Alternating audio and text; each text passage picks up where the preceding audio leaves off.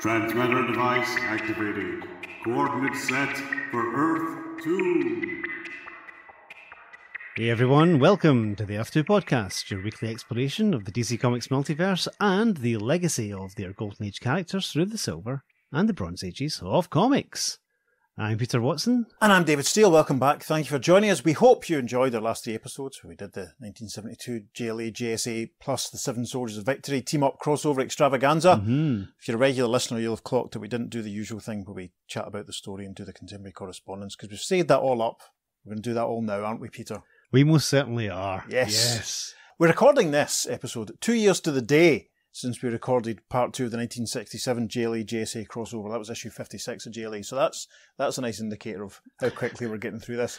Yeah. And at this point, I haven't heard any of our 100 to 102 JLA issue episodes. And at this point, I haven't finished editing any of the 100 to 102 episodes. So, listeners, you have us at a disadvantage. You'll know better than we do right now whether or not this is this great folly, this great experiment, all this complete lack of sleep that Peter's had for the last 3 Mhm. weeks has been worth it. We hope it has. Yeah, JLA issue 100. Can you remember the first time you read this storyline? Oh, crikey. That's a very good question that I hadn't actually prepared for, and I Oh. should have been. Excellent. Uh, no. I remember getting it. I remember seeing the striking cover, and I think it was at a comic mart in the early 90s. Right. But I- didn't get all three parts for a long time. I think it took me a while to track down all three. Okay. And I can't remember where I got the other ones, but yeah, I remember getting that at a comic mart. Uh, and just thinking, this is fantastic. Great Mm. fun. Mhm. What about yourself? I can't remember. Much like yourself, I think it was either probably at a comic mart in the early Mhm. 90s or from Mr. Root at City Centre Comics at some point in the early Uh-huh. 90s or mid 90s. I do remember quite pointedly early on in my devoted DC fandom trying to get as many of the JLA and JSA crossovers as quickly as I could. Yeah. But it was like 1999 before I got issues 29 and 30. So, anyway, shall we start then? Issue 100. Yes, let's just uh, have a wee look at Yeah. all the pertinent parts of the story, and we'll just go over it very briefly for you, because obviously you've heard some amazing, amazing dramatizations of them recently. uh, perhaps not in this podcast, but you know. Um, I love that the, the, the JLA's old headquarters is just left to just gather dust and cobwebs. yeah, the old tech. Yeah, That's pretty it's- cool. It's hilarious. As we know, it does return uh, in various forms. Yeah, because the Doom Patrol used it for a while, didn't they? Yep, uh-huh. and I think the League actually went back to it as well at And one- Young one Justice, point. Yeah, huh? I think, kicked about in it. I can't remember if. Young Justice went there. I just Could remember them. I just remember them being in. Um, was it Mount Rushmore, or was that someone else that's based in Mount Rushmore in that series? It's been a while. There is an issue. I think they're hanging out the front of Mount Rushmore, Mm. and like um, there's a whole lot of explosives up someone's nostril, and Impulse shouts Yeah. it's going to blow. but I can't remember. Anyway, that's we're already getting Yeah. far away from the point. Mhm. Um, bit surprised that everyone was so surprised that the atom came flying out of the telephone. You'd think they'd be used to it. You think you would, yeah. We should uh, qualify for new listeners, which we might have picked up a few of recently. Uh, Aquaman's accent. We established early on that uh, the Atlantean accent is kind of like Sean Connery. Yes, we did an issue of Aquaman a couple of years ago, quite a while ago now, where Mhm. um, Aquaman and Mera were sort of in disguise at a, a sort of coastal resort, and the whole story was obviously lampooning a lot of James Bond stuff. What was it called? From From Ogre with Hate. from Ogre with Hate instead of from Russia with Love. Ogre with Hate. Yes, we haven't sung that for a long time. No. So Peter, damn his eyes, decided to do Aquaman as Sean Connery because it's funny, you see, and he has done it ever since. Damn his eyes. If you're wondering, that's why. It does add a bit of flavour, No, let's uh, be honest. Yes, well, absolutely. It's better than us attempting to do bad American accents for everyone. True, true. Yes. Okay. So yes, that's the, the, the origin of that part. Nice to see the Flash and Elongated Man teaming up. well. Yes, that was great. enjoyed that. And um, quickly must point out that the panel with the Martian Manhunter and a couple of moons Hmm. hanging above. That's a nice little callback to issue 212 of World's Finest, Oh, yes. Mhm. which actually, I seem to remember that finishes with the Martian Manhunter thinking that Superman has died, and nothing really seems to happen to kind of make him aware that that's not Wow. the case. So we'll need to watch out if we ever do any more stories. Mhm. It's been a while since I read that. Yeah. It was great getting some of these guest voices on for these because, Yes. yeah, we got uh, comedian Robert George in to do Martian Manhunters. Thank you very much, Robert. Yes. We got our friend Max Traver from the Weird Warriors podcast to do Ralph Dibney, and regular listener Chuck Lawrence. Hi, Chuck. He was Earth One Green Arrow, and I must say, I really enjoy playing Hawkman, and it's nothing I'd like more than to act out a Hawk, classic Hawkman Green Arrow argument with Chuck. That'd be fantastic. Well, if we ever One day, a, Chuck, one day. if we ever set up a Patreon, that'd be the sort of thing we'd do. If Chuck's got nothing better to do with his time. Um, delighted that the irredeemable Shag could join us as Metamorpho. Yes, that's fantastic. Really, really pleased. Mhm. Thank you for doing that for us because I'm a big fan of Shag's JLI podcast, and as Metamorpho is obviously quite a, a foregrounded JLE guy, it seemed like Mhm. a lot of sense to, to get Shag involved. We're so glad that he did. And he absolutely nailed the character as well. Yeah. Well, I can't I can't comment on that. At the you can't, because you've I not heard. I've not heard it. Ah, yes. Um, I have heard though that, that Brandon Peters did a great job as Snapper Carr because I heard the audio of that when it came through. So Yes. I'm a, I've mentioned Brandon's show on the on the podcast many times. Mhm. BrandonPetersShow.com, whysoblue.com for his movie reviews, etc. I'm a huge fan of Brandon, so I was Mhm. delighted that he was able to help us out. So it was nice to have him in as Snapper.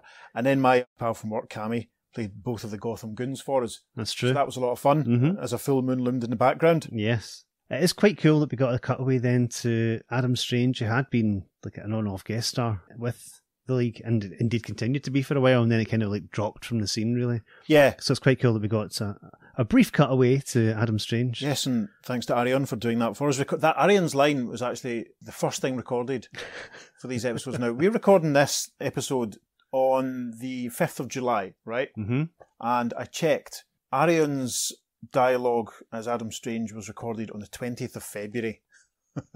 Well, That's when we started. 20th of February 1967. um, yeah, 20th February 2023, obviously. And, you know, we Pete and I started discussing the early part of the year, and that was the first bit of dialogue recording. There you go. Arion Zenos is Adam Strange in, in the laundry room at SWG3. There we are. then we have a lovely group scene where some of the heroes are all getting together in the cave, and Zatanna makes an appearance, played by. Played by my wee baby sister Ali. There Thank you are. very much. One thing I found really interesting in this scene is the flirtation straight away with Zatanna and Flash. Zatanna is basically uh, mega flirting with the Flash here. Yeah, it's not an awkward thing to play at all.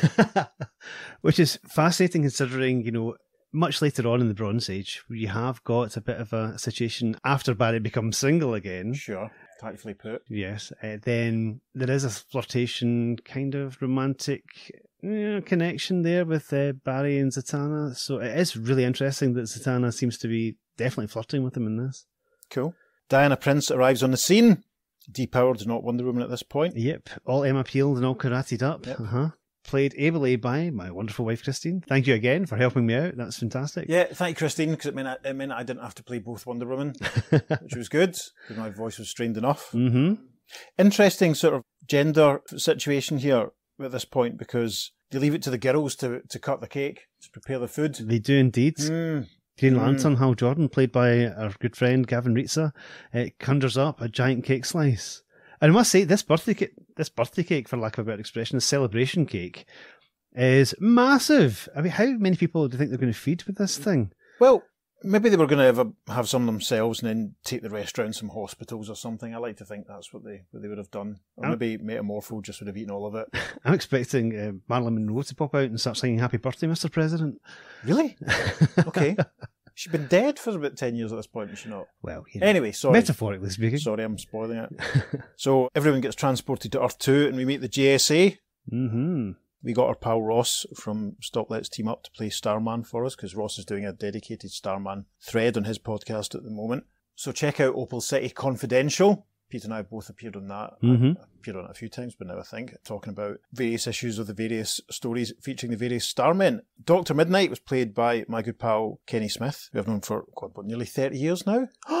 And I still occasionally contribute to Kenny's Doctor Who podcast, Power of Three and Pieces of Eighth. So you should check them out if you're a Doctor Who fan. Kenny's a sweetheart. And also, the choice of accent for Doctor Midnight was because he's Doctor Charles McNider. He's a Mick. So yes, it's uh, Yes, a Scottish heritage there. Yeah. That was sort of influenced by something Multiverse Historian had said on in one of his blogs that I'd seen, and then Gavin, when he joined us last year hmm for JLA 82 and 83, he played him as sort of Dundonian, Yes. uh-huh. Dundee listeners, but Kenny's Kenny favours Aberdeen more because that's the team that he supports. So we've established at least that Doctor Midnight's from the East Coast, so that's Indeed. something. And not from Atlantis. No. No. And we also had the Sandman as well, ably played by Rich Fulham of, again, the other Weird Warrior from the Weird Warriors podcast. Yes.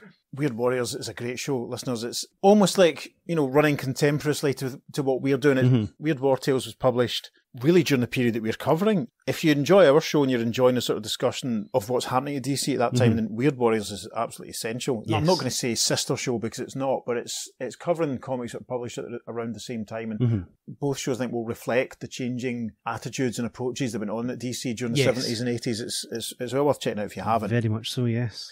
And our good pal Steve Higgins joined us to play not only Johnny Thunder, Mhm. but also Crimson Avenger Mhm. and Stripesy. Yes, more on that later. Yes. The question that I really have to ask after all this time, you know, who is Oracle and why did he never come back?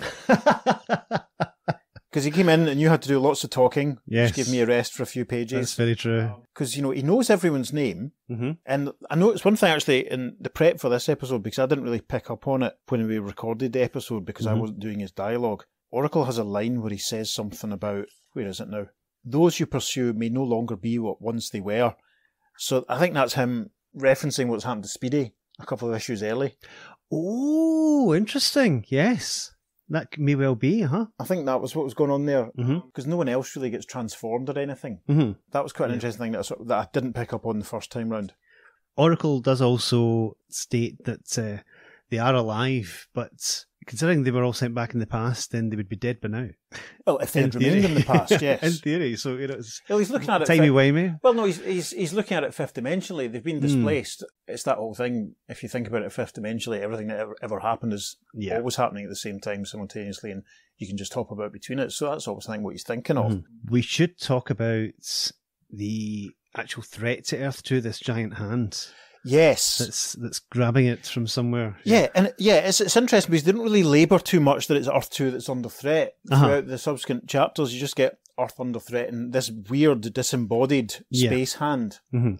You know, is the wrist sort of just emerging out of the ether, as it were, or is there a giant unseen body as well? So I want to know. Yeah. This story is often referred to as the one where everyone shows up, but they don't. Yes. There are some definite people who are missing. Yes. We've, we're missing the Earth 2 Superman, Earth 2 Hawkman, Earth 2 Atom, Earth 2 Batman. Yeah, the Spectre's dead at this point. Yeah, uh, so obviously he would have been a big thing, yeah, but That's another throwback to Justice League issue 83. we're missing those characters. But Doctor Fate does have a line, I can't remember whereabouts it is, where he said they've tried a couple of times to stop this Iron Hand doing what it's doing and you know, holding the Earth and uh, being held to ransom. And basically, I think that the first couple of times, maybe these Yeah. guys have been knocked out of action. It's the top of page 8. Twice have we tried to release that evil Mhm. hand's grip upon our world, and twice have we failed. We're in so need of help, my friends, which is why we turn to you. So I mean, it's possible. yeah. I think, yeah, it could have been that the others have been displaced. It's kind of Mhm. weird that we don't see them come back. Yeah, that's that true. is the case. That's We're true. reading between the lines, but you know, the fact that they went to another Earth and got Superman, Hawkman, and the Atom. Yeah. You know, given that Makes they, and. Batman, obviously, given Yeah. they're all they're all missing. Uh-huh. One thing that's fascinating is just the the volume of cast involved. Mhm. Now, is this the best point? I think it probably is. Len Wein wrote this story, and I'm going to read now from the introduction to Crisis on Multiple Earths, Volume 3, the original trade paperback of that, which is published in 2004. Ooh. Len addresses the scale of this story in his introduction, so I'll read from it now. There I was, standing in Julie's office, Julie Schwartz, of course, being offered one of the brightest jewels in DC's crown. Of course I'll do this. He's referring to writing the Justice League, obviously. I'd love to do this. Are you sure I can do this? I asked Julie. Guess we'll both find out the hard way, he replied. Very reassuring, that man. Oh, and one more thing, Julie added. Your first issue? It'll be issue 100. It's the first part of the 10th annual JLA JSA crossover. You might want to think about doing something special. Dear God, did I think. That's Len continuing. The last few team ups written by the venerable Denny O'Neil and young upstart Mike Friedrich had veered some from the original recipe created by the legendary Gardner Fox. As a reader, I'd always loved the mixing and matching of the greatest heroes of two worlds, breaking them up into individual chapters. First and foremost, I wanted to get back to that formula. Still, a story big enough to celebrate this comic's milestone needed to be something more. And that's when I remembered the Seven Soldiers of Victory. I don't recall at this late date exactly where I'd first read about the Lost Legionnaires as the Seven Soldiers were sometimes called, though I imagine it was probably Roy Thomas's seminal fanzine Alter Ego. I did remember that the Seven Soldiers had only appeared together twice, both times in the pages of DC's now long defunct leading comics. There they were, a third super team already owned by DC, just waiting for someone to give them their due. I called Julian and pitched the idea to him. You do realise you're crazy, don't you? he asked. That's an awful lot of characters to cram into a two part story. Then why don't we make it a three part story? I suggested. Julie didn't have to think about it for long. Sure. Why don't we? Was his reply. Len continues, so there I was, now faced with having to come up with a story that incorporated the entire membership of the JLA, as many members as possible of the Justice Society, open brackets, I omitted a few for simplicity's sake, and all the eight members of the Seven Soldiers. And if you read the story, you'll understand his numbering there. I've included all of the JLA's auxiliary members like Metamorpho, Zatanna, and my old pal the Elongated Man. Every Justice Leaguer made an appearance, even if it was only a cameo. The book was exquisitely illustrated by the vastly underrated and still terribly missed Dick Dillon, who never met a challenge he couldn't rise to, and inked by genial Joe Giella and, at my insistence, the incomparable Dick Giordano. 33 heroes. 33! The greatest gathering of superheroes ever recorded, the cover of JLA 100 exclaimed proudly. Who was I to say otherwise? I must have been out of my mind. So yeah, a cast of dozens. And it was weird because I think we might have said this before, but Mhm. Peter and I have been thinking about doing the same thing as far as getting other people in to do the voices. Yes. Because Uh-huh. we always have a conversation every couple of months when we map out our next 10 or 12 episodes that we have Yeah. to record. And we'd done our Hogmanay episode. the Lord of Batmanor. Yeah. And for that one, you know, we'd got a couple of our pals and stuff in, and Mm-hmm. Max and Rich, Kenny and Tom from the, the other podcast that I worked on. They kind of played some of the smaller parts and we'd quite enjoyed how that sort of turned out. Yeah. Uh-huh. And in one of our Legopolis moments, Pete and I hadn't actually seen each other for a few days, and then we just sort of said, like, you know, I've been having an idea about JLA 100 to 102, and, and then I sort of said, yeah, I've been sort of having. And then we started planning it, and as I say, we recorded Arian's dialogue in February. Johnny did his Robin dialogue in March. Yep. And it's taken us this long. so it shows you how long, how far ahead we were working. Yep. And I literally got the last piece of dialogue in two days ago. No, yesterday. Yesterday. Crikey. We're not going to say who, we're going to say who that was. But we know you're listening. So yeah, of an absolute cast of thousands, and we probably won't attempt anything quite as ambitious again. Probably, Well, who knows? We'll see what happens. He says. yeah, Yeah. but um, we're, having ideas already. anyway, I love the final panel of page fifteen where they're all sort of divvied up into their groups Mm. He talks about deploy your fellows carefully. He's obviously he wants the, the, the power split to be quite level, Yeah. but when you look at them, it's a little uneven. hmm Superman and Metamorpho, two of the pow- most powerful heroes there, with Wesley Uh-huh. Dodds, who's got his gas gun. Yeah. Green Lantern's probably the most powerful out of Aquaman and Wildcat. And it's very funny that we'll talk about this when we get to, to 102. It's hilarious that they have to have a flash flood to give Aquaman Yes. a chance to do some swimming. Red Tornado, Zatanna, and Flash is a very powerful team. Uh-huh. Doctor Fate, the Atom, and Elongated Man, it's kind of weighted towards Kent, but you know, that's Yeah, that's uh-huh. still quite good. Wonder Woman, Hawkman, and Doctor Midnight, that's a bit Earth level. As is Well, Batman, Starman, and Hourman. I mean, Rex's enhanced strength, Ted's Mhm. cosmic rod. But if you forget about the Thunderbolt, then Mhm. Johnny, Green Arrow, and Black Canary, that's quite a. yeah, it's low key. uh-huh. Yeah. Yeah. It's it's quite interesting. I mean, you know, you were saying a, a minute ago about the flirtation between Flash and. Zatanna. I wonder if that influenced Wow. that team up. The lads, you know, the three men, Batman, Starman, and Hourman teaming up makes sense. But I think the most random one has to be Superman, Metamorpho, and Sandman. Uh, Yeah. That was almost like who's left. yeah, pretty much. Pretty much, I can see that. But it's it is interesting how they use Sandman in that. Well, we'll, we'll wait till we get to that chapter Yes. and we'll talk about it. Yes. Uh-huh. But of course, that means that Diana Prince volunteers to stay behind, even though Batman says, "Come along with us, Diana." So yeah, it's, it's that um, some yeah, we'll get one of the girls to wait behind and Yeah. keep an eye on things.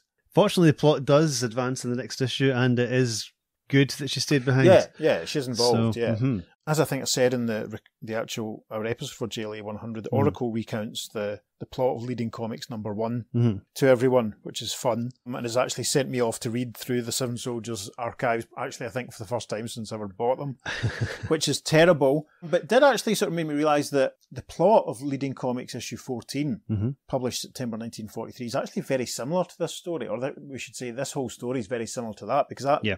That story has the Seven Soldiers being scattered through time to Mm-hmm. various sort of points, like um, Ah. Green Arrow and Speedy meet the Three Musketeers, and Star Spangled and Stripesy. They, they discover America, which is As nice. Uh-huh. And Sir Justin gets to meet Leonardo da Vinci, Wow. which is great. So if you've got the Seven Soldiers archives, listeners, go and read issue 14. It's cracking. If you enjoyed this this whole epic and you want some more, that'll give Mm. you a bit more of it. A lot of fun. It's funny that Len Wein said in his intro as well that they appeared twice in the Golden Age. And it's like, uh, no, they appeared a lot more often than that. I Yeah, they seem- they he seem- maybe had two appearances that he'd remembered. Yeah, I'm not sure what you remember that at all. Or he was given two appearances as reference, perhaps.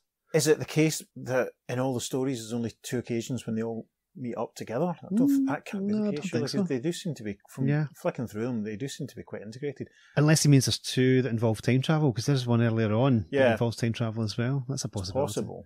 Yeah. Hmm. So yes, the last chunk of issue 100 is taken up with Doctor Fate and the Atom rescuing the Crimson Avenger from ancient Mexico, or maybe not ancient Mexico, but anyway Mexico. The most interesting thing about that that I found that I didn't again I didn't pick up when we recorded it because I wasn't doing the dialogue for the Crimson that it's a chunk of the Nebula Man that gives him these powers. Yes. That's fascinating. uh-huh. hmm I was surprised that that was the only time that really. It became a factor. Yeah. Yeah. hmm You know, the corrupting force in it as well. Mhm. Strange glowing rock that hmm is that all of the Nebula Man reduced? There's an irony given who died that it was the Crimson that was then affected in this sort of way. Is that Mhm. an irony? It's not that much of an irony, but it's interesting. It'd been fascinating to think if a chunk of the Nebula Man had maybe been revealed to be being used by Cersei later on, Yeah. Uh-huh. or maybe influencing the, the Native American medicine man or something. hmm But I just wondered if it's maybe just something that Len forgot about because he was having to write.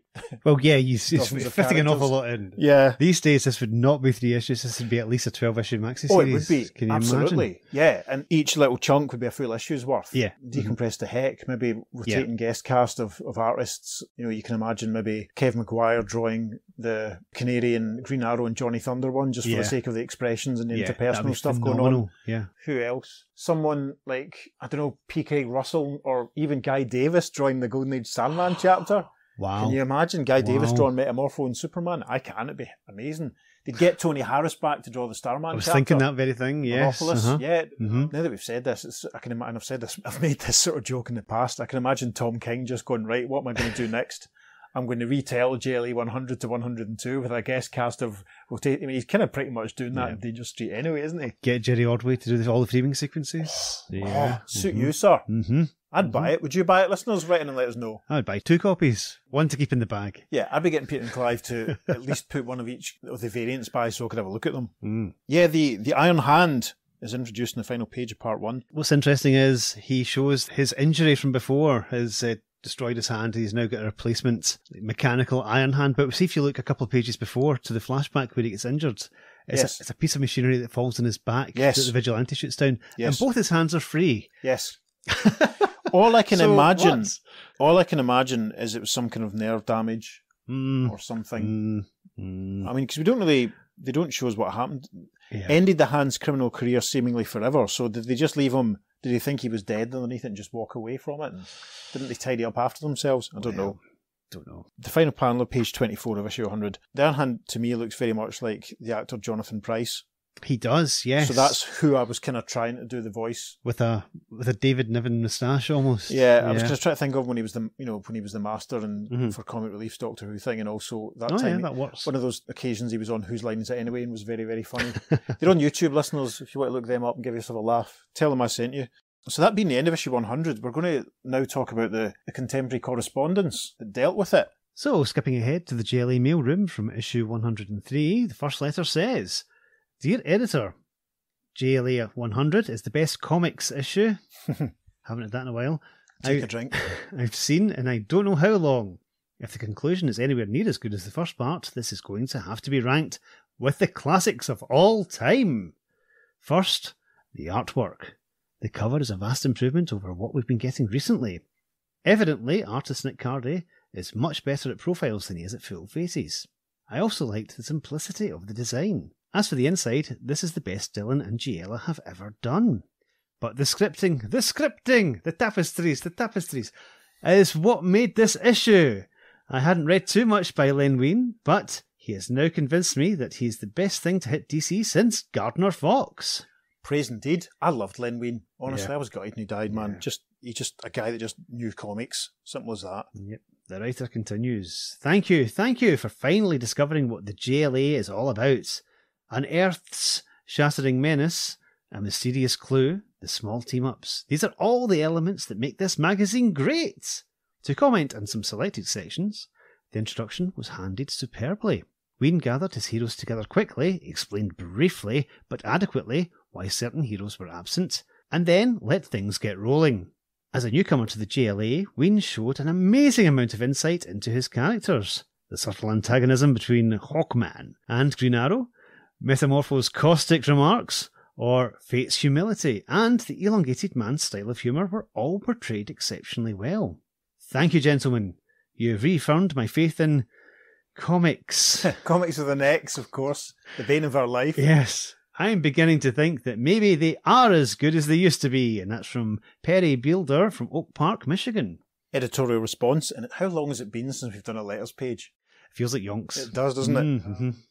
Editorial response Just as the annual Justice League Justice Society stories manage to bring out the very best in us, so do they inspire our readers to reach the tops in letters of comment.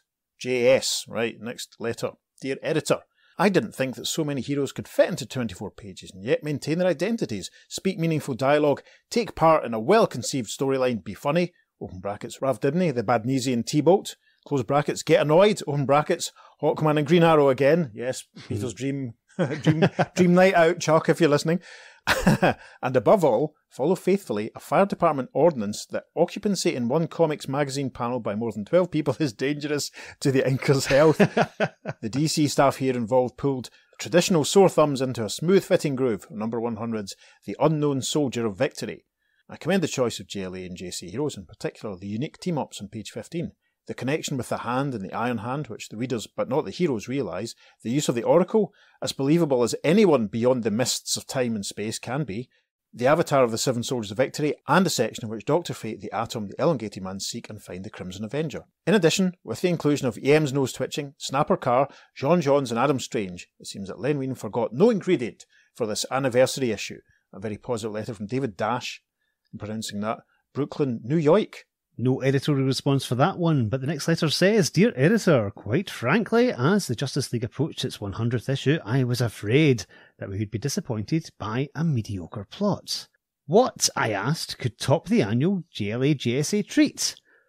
Little did I dream that Len Wein could involve 33 superheroes in his debut as a JLA writer, and that among these stars should be the legendary Seven Soldiers of Victory. Almost needless to say, writer Wein executed a flawless, well developed, intriguing suspense story as a yarn in itself and as a setup for the concluding chapters. Artist Dillon and Giella are also to be commended in handling an especially difficult assignment involving so many superluminaries.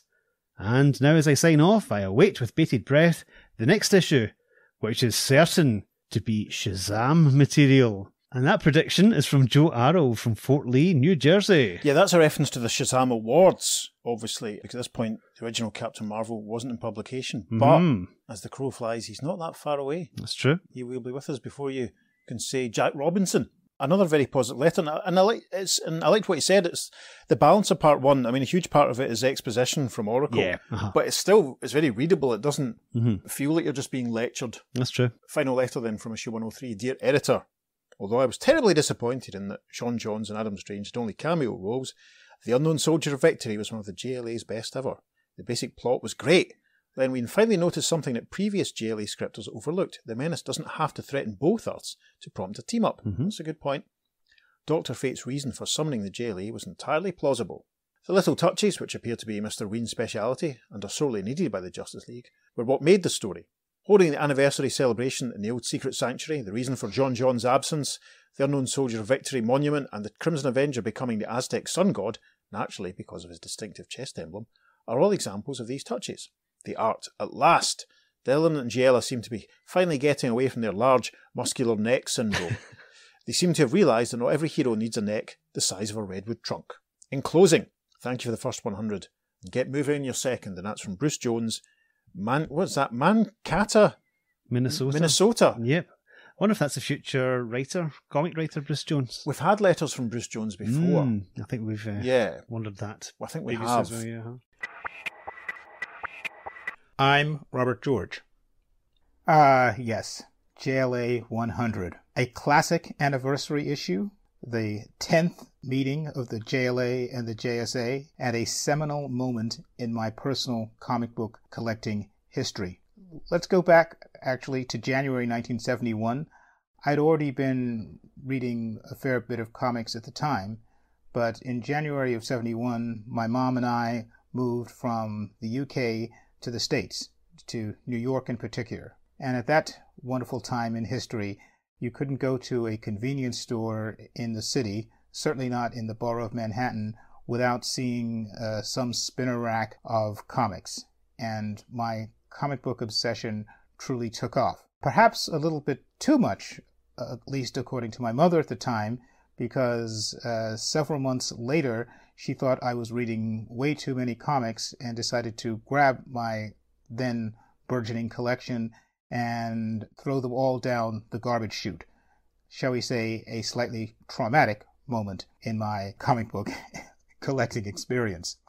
However, it may very well have been out of some kind of guilt that a few weeks later, when I found out that DC Comics was offering a subscription service for comics and they could be actually delivered to my own mailbox, I asked mom if we could do that. And she agreed, again, perhaps out of guilt. My selections at the time were Batman, Justice League, and I believe World's Finest. And come summer 1972, what's the first book that comes into my mailbox? Yes, JLA number 100. What a fantastic, amazing cover. Obviously, I was too young to know the influence and importance of Nick Cardy in terms of designing and drawing so many DC covers at the time, but all I could tell was this was a, remarkable cover. All of these heroes uh, on it, heroes on opposite sides of, of a grave that said unknown soldier of victory, and then these ghost like figures, the seven soldiers of victory, who at that point I had no idea who they were. Then, when you open up the book, the scenario is kind of repeated, this time by longtime artist of the Justice League, Dick Dillon. And the last page ends in a cliffhanger, of course, where we see the villain of the piece, this, this man, the Iron Hand, threatening to crush the earth. And it turned out to be something of a, shall we say, a cliffhanger for me, even more so, because as luck would have it, my family decided to move uh, in summer of 1972 uh, from New York to Connecticut. And as a result, I ended up missing issue 101. Apparently, the U.S. Postal Service was not as reliable as we were led to believe. So I ended up having to wait another full month to, to get issue 102 because this was a, a rare three-parter in uh, the JLA JSA series. So I ended up getting the conclusion, but there was a whole missing issue with three chapters in it of uh, the JLA JSA tracking down members of the Seven Soldiers of Victory. I think it took me several months before I actually uh, had a chance to finally read JLA 101 number 100 is amazing in and of itself.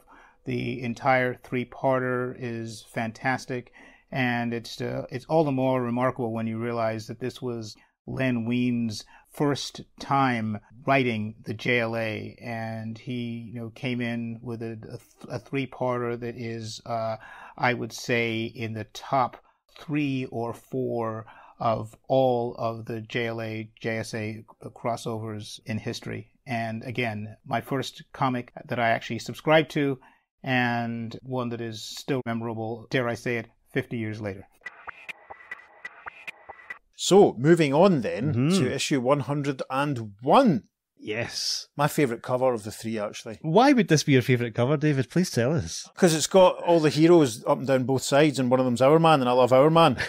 and, you know, let's be honest, it's like, is it the only time that Hourman and Metamorpho appeared in a sidebar in the No, same comic? Be. Yes. Uh huh. Throw in Sandman, Doctor Midnight, and Diana Prince, you know, the non-powered Wonder Woman at that point. It's it's very interesting. I thought you were referring to the main cover image, which is the scene of the giant hand in space, giant iron hand in space, Yes, grasping at all the heroes. which doesn't actually appear at any point in the story. apart Yeah. from in the splash page as well, which Yeah, is. Uh, But know- even in the splash page, it's the taloned hand. It's not the iron hand. Yes, yeah, it's interesting, isn't it? yeah, I mean, it's. I suppose it's it's symbolic, isn't it? it is. It's, It's, it's a nice bit of symbolism going on, and as I've you've probably seen by now, I found a couple of different foreign reprint versions of that one, which I've hmm. flung onto the socials by now. Hopefully, by now, listeners, you'll have seen the three different Spanish covers for the three episodes, and all of which had new artwork.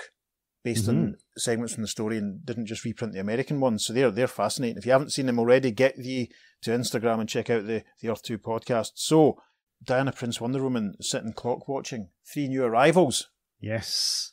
We've got Alan Scott Green Lantern. We have the Earth 2 Grown Up, Dick Grayson, Robin, and Mr. Terrific. Yep. I was delighted to get my work colleague Jonathan Horner involved as Robin because Johnny talks like that normally. Johnny's great. Johnny's a sweetheart, and I thought it'd be, you know, we I think I had a vague feeling when we'd done the adult Robin before, we'd given him a bit of an Adam West sort of Mhm. Yeah. Timber. Touch, yeah. So I thought Johnny would be the, the best man for it, and Brandon Peters was happy at the eleventh hour to leap in and be the Golden Age Green Lantern for us as well, which is good Yes. because it gave him a bit more to do. Because originally he was just going to be Snapper Carr, Mhm. Star Spangled Kid. So lots of fun. I like the recap, especially the panel on page three when it's almost Diana's point of view of everyone disappearing. Yeah. I like Uh-huh. that. It's Uh-huh. you know it's different to what we got in the previous chapter, but it, it really sells it from her, her POV. I like it a lot. And then we've also got the reveal that the Seven Soldiers of Victory are completely forgotten. They don't remember them at all. We've had that in the first issue as well, Yeah. but it's it's just reiterating that in the second Yeah. issue. Almost Yeah. if they've been taken fully out of time and Yeah. their timeline's almost wiped. Yeah, that is a fascinating thing. Mm. They didn't really Dwell on that in the first Yeah, part. they didn't yeah. really dwell on it being resolved in as much as Mhm. them being brought back and did that automatically return them to everyone's memory. snap back like a rubber band. Yeah, Yeah. does, does that mean that the entire world had forgotten about them because because of the nature of hmm what the Nebula Man and the Hand were doing? Was it Mhm. changing reality? Gosh, so many questions. Well, as we know later on, with the All Star Squadron, where all these heroes knew each other, but at this point, there were very few times that they met. But Earth 2 Robin has met the Star Spangled Kid and Stripesy in the pages of World's Finest number 9. Pete's got a copy of World's Finest number nine. this is the second time I think in as many weeks I think we've mentioned that. Let's just he's just going to rub that in again, listeners. I might mention it again later on. Maybe, maybe. Uh, but yes, so they do know each other, so he should know them. Yeah. Mm, yeah. Mm. Yeah, that's a fair point. And of course, the All Star Squadron is, a, is one of the biggest retcons of all time. But you know, Yep. they were all members of, of that one team. hmm So the first sort of proper little story chapter of issue 101 features that random team of Superman, Wesley Dodds, and Metamorpho, Yes. With a cameo by my old mate Mick Pride as Genghis Khan. Now we need to talk about Genghis Khan. Yes, We did allude to this in a recent episode where we discussed a flash story featuring Vandal Savage. yes, And in it, it was revealed that Vandal Savage, who is an Earth 2 character, uh, in the past was actually Genghis Khan yes. because he's immortal, you see, and you know, Yes. he's been various people through Yes. history. And that story was written by Len Wein. This story written this story also written see- by Len Wein Can you see where Peter's going here, listeners? features Genghis Khan, who is a more traditional Genghis Khan and not vandally or savagey in the in slightest. Yeah, it's difficult to to reconcile it, isn't it? Because he's draw, he's not drawn looking remotely like Vandal, unless No. Vandal was wearing makeup or something. I don't know. Unless Vandal posed as Genghis Khan, perhaps. Maybe that's that's a possibility. That's an idea. Maybe it assumed is maybe he did away with the original at some point and just took over. And Could have done yeah, that's Mhm. possible. That's a thought. because it's not like you know they've got photos of him up anywhere, No, that's or true. you know you couldn't just Google what Genghis Khan looked like. Listeners, if you want to know what Genghis Khan looked like, go and Google him just now and see what you think. Maybe maybe we'll find a, an, an accurate image of him and do a tweet featuring him at some point. yep. This is a fun chapter, I think. Mm. Superman at this point in his own book, we're a little way from it happening at this point. He'd been, shall we say, significantly depowered. Yes, that's correct. Uh-huh. And it's fascinating that he was able to move an entire village off do. panel to somewhere else where um, Genghis and that couldn't get to. Or did he move the whole mountain? I don't know. That was quite vague. hmm But I was quite amused at that, quite tickled by the fact that, you know, Soups doesn't seem, he only seems to have this limited power whenever people remember. That's true. Of course, in this chapter as well, it's the Shining Knight they're Yes. trying to rescue, ably played by Dan Butcher of the Awesome Comics podcast. Now, when I approached the guys at the Awesome Comics podcast, all three of them appear in this, by the way. When I approached them, I said that they can choose between Vince and Dan which characters they play between uh, the Shining Knight and the other one. And Dan chose the Shining Knight, Right. and he nailed it. It was fantastic. I have to take Peter's word for it at this point, listeners, because I haven't heard it. You will have heard it. Dan, thank you. It's Thank you for on- giving voice to Sir Full on gusto. It's it's amazing. And at this point, I've not. I mean, I've known Mick. I've known Mick for nearly thirty years. Mhm. Mick gave me one of my two most prized possessions in the whole world, gosh, which is his Take That Crew T-shirt from when he worked for them at the exhibition centre in, in Glasgow in 1994. It's to my left right now. Wow. I can put my hand on it. It's never far away. You hold it up for the benefit of the YouTube yes, viewers. that's the point. I'll hold it up for the benefit of our YouTube viewers. There we go. There we are. See, get that? Look at that. Crikey. Local crew. Yeah, Mhm. the logo's act- on it's actually slightly smaller than my recent tattoo, which is quite funny. So I was delighted, and Mick's obviously supported the podcast since we started, so it was lovely to actually be able to give him a part. So cheers, matey, much appreciated. I just love the fact that Metamorpho as well just turns into a tank. it's the most random of team ups. Wesley hmm. Dodds and Metamorpho. You know, it's like it's like the the JMS 2000s Brave and the Bold. Yeah. You know, let's pick two guys that, you Mhm. know, it's glorious. And I hope Shag doesn't mind me saying it, but his voice is perfect Yep, yep. for Metamorpho. Absolutely. It worked so well and they gave it gusto. So again, cheers, Shag. That yes. was amazing. And probably we're going to ask you back when we do that issue of Brave and the Bold with Plastic Man and, and Metamorpho. So that's your notice on that one, matey. We'll see. I did find it weird Metamorpho turning into the tank because obviously when he's firing his shells, he's firing off bits of himself. Yes, there's a, there's a weird ejaculation metaphor, isn't there? Uh, Yeah, it's um yeah. Yeah, it's interesting. Especially considering the top half of his body is like the on top of the tank. Mm. And um let's Well, not dwell on Wesley's this. got a line though where he says, "Get those spare atoms of yours working." Well, I've got some spare atoms that can have some of mine around my midriff. That's fine. Maybe that's how he controls. I don't know. It's- I Maybe mean, that's I, why he was so excited by the birthday cake. He can get some more Yeah. atoms in some. I haven't read enough Metamorpho to, to comment on it. One thing we should point out as well is how nice to have the Sandman's little calling card at the end of that chapter. Yeah. mhm. That was nice. And also the rescue winged victory as well, which is Yes, important. we can't forget the Wing Victory's Yes. there. He doesn't have any lines. We didn't um, any animals to, to play his part. No animals are harmed in the making of this podcast. Yes. So Green Lantern's getting a bit fidgety hmm in the next page, and him and Robin and Mr. Terrific fly off to to the Himalayas. As we see some of the actual effects of this giant hand Yeah. On the world. There's an, there's an interesting bit when it cuts back to the Iron Hand later later on, and he's watching them sort of rescue these kids in the Himalayas, and it all suggests to me that it was all going on simultaneously. Yeah. Uh-huh. That you know, Mhm. while each hero team was landing in its time zone and dealing with what's going on, the others were all doing the thing at the same time. It's- Yeah. I'd love to see an, a full, proper, full-blooded animated adaptation. Maybe someone will animate our, to our soundtrack. um, wouldn't that be fun? I mean, this is. I think this is at this point. This is definitely my favourite JLA JSA team up. So yes, chapter two of this one, guest starring my my old mate Kenny Smith as Doctor Midnight, as we said earlier on. Doctor Mhm. Midnight with that slight East Coast timber. And they're back in the time of Robin Hood Yes, in Nottingham. No sign of the sheriff, but we do see Little John, ably played by another one of the awesome comics podcasters, Vince Hunt. And you, you haven't heard that either yet. I haven't heard No. it yet. And again, Vince is amazing. And also, this mission was to rescue the Earth to Green Arrow, who is very appropriately in Nottingham, you know, considering, you know, he's an archer and all that. yeah. And of course, uh, he must have been there for quite some time because he's picked up the accents. I remember the first time I read this story, sort of wondering if it was going 2 be revealed that Green Arrow had been Robin Hood all along. That's what I thought as well. And I hoped that was going to be the case. You know, Yeah. he's been there for a while and that has been the thing. But no, and that's why uh, he put on the voice. But no, Tony Esmond, again from the Awesome Comics podcast and the Never Iron Anything podcast, ably provided us with that voice. I said to him, Tony, if you can do an American, that's cool. If you can't, that's fine. He says, I'll just use my own voice. so thank you, Tony. Thank That's you for great. trying at least, Tony. Thank you for giving us the opportunity to make that joke. So Yes. that's fine.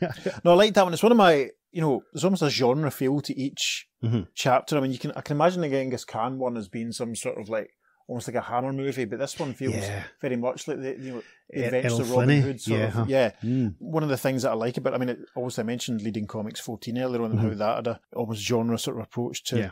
to everything, but it's, it's fun. I mean, it's good in this chapter. Hawkman gets to be strong and violent with an old piece of weaponry and Yeah. Wonder Woman gets to use her lasso and Mhm. Doctor Midnight gets some fun action using his blackout bomb. That Yep. was pretty cool. Do you know, actually, when I saw Kenny just on Sunday there, Mhm. Because I hadn't seen him for a while, he'd been on his holidays and I had to give him his birthday present. Kenny hadn't picked up on the fact that Doctor Midnight was blind. I don't know if I hadn't told him or if he hadn't picked that up from, even though, like, you know, he has, he does have a, a thought bubble where he says, My blind eyes can see us perfectly. Kenny hadn't registered. Kenny, what you like? Pay attention, 007. so um, it's a shame that Doctor Midnight didn't have any more lines later on because I quite frankly would have loved to have Yeah. Kenny rock up again, but not to worry. Another time. another yes, time. indeed, indeed. I'm Tony Esmond. I don't think I ever saw this originally, um, although I was a fan of those crossovers. I hadn't seen this particular issue until I got the DC app, which I suppose is about a year or so ago. Saying that, I am a massive fan of Len Wein. I think he's great. Great writer, exceptional editor, and absolutely great raconteur. He did a few podcasts, didn't he? I think he was on some kind of writers podcast I used to listen to. Absolutely brilliant. I'm also a fan of Dick Dillon, actually. I, I, I have to say, I don't think he gets enough love. But uh, mate, love love the Earth too. Big fan. Uh, always makes me laugh, especially when Pete does his ladies' voices. Yeah, look forward to hearing this, mate. So the next segment is the Iron Hand sort of doing some interior decorating. Yes, as he destroys a big giant copy of the Daily Herald. Yep, And it's watching the Seven Soldiers. watching Alan, Terry, and Robin on the on the screen on their on their Mhm. flying trapeze, and then it's probably obviously because Hourman's in it, Starman's in it. Probably is it isn't my favourite chapter of the whole saga? Probably. Probably is. Let's be Mhm. honest. When I asked Steve to to do Stripesy, you up for doing Stripesy? Sure, he said. And um, I said, would you try and do it as Luke Wilson? Steve naturally has that sort of gentle Midwest to his voice anyway, so I think it was the perfect fit. hmm And as we said at the top earlier on, obviously we had to ask Ross to play Starman for us. Yes, because of his amazing Opal City Confidential podcast that he does as part of Stop Let's Team Up, which you should all be listening to. You really should. You really should because if I didn't say it already, Ross is covering all the Starmen. He's doing deep dives on the James Robinson series. He's doing deep dives on the original run in Adventure Comics, but he's Mhm. also covering Prince Gavyn. He's covering Mikaal Tomas. Yep. He's covering Will Payton. He's covered the Starmen of the Silver Age that we covered. Yes, Batman and of course the Star Hyphen Man. yeah, we helped. We helped out with those. Um, I'm appearing a bit more regularly, sort of on the, the times past episodes of the Jack Knight series, but it's it's great. I mean, it's. I think anyone had realised just quite how much Starman there was to cover. Yes. So good luck with it, Ross. Keep it going. We have you have our full support. And I will be back on it at some point, Ross. I've only been on once so far, but Yes. uh, now that now that Pete's finished editing JLA 100 to 102, he might have a little bit I'm not time. finished yet. I know, I know.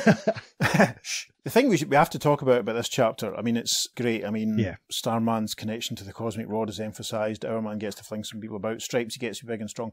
But this story, this chapter, was was retold in issue nine of Geoff Johns' series Stars and Stripe, Oh. published in February 2000. hmm Because basically in that story, Pat is telling Courtney and his family the history of the Seven Soldiers of Victory. And at this point, this post-crisis period, obviously, nothing really had been done with the Seven Soldiers. Sure. Uh-huh. They'd been in All-Star Squadron, they'd been in Young All-Stars, but it, obviously Green Arrow and Speedy had been removed from the continuity. Mhm. So they weren't, you know, there was a lot of vagueness about what their lineup was, yeah, given were. Yeah. yeah, given that there wasn't a, a Green Arrow or a Speedy anymore. Uh-huh. And the way that Geoff Johns sort of tackles this in Stars and Stripe is that he has Speedy, in essence, sort of replaced by Stuff, Vigilante's Sure. sidekick. Uh-huh. But Green Arrow is replaced, and this is this was a lovely bit of synergy. I remember at the time just loving it. I wish Hmm. I'd known Peter at the time actually, so we could have both jumped up and down and screamed at how cool it was. he replaced the arrow wielding Oliver Queen with the Spider, Yes. another archery influenced superhero. Now, Mhm. what it also did was it built on some stuff that James Robinson had done with the Spider in the Mhm. pages of the Shade miniseries. Yeah. And what he would do in Starman, which was that basically the Spider was really a baddie pretending to be a hero. Sure. So what ends up happening in this issue of Stars and Stripe is that the Spider, on the surface, a member of the, the Seven Soldiers and who's Mhm. given him the details to build the weapon that will destroy the Nebula Man, is actually working with the hand and has deliberately sabotaged it and sent him Ah. off with malfunctioning equipment. Interesting. But then Billy Gunn, who's a friend of the Vigilante, leaps in, tells Wing about it because Mhm. Wing's still there.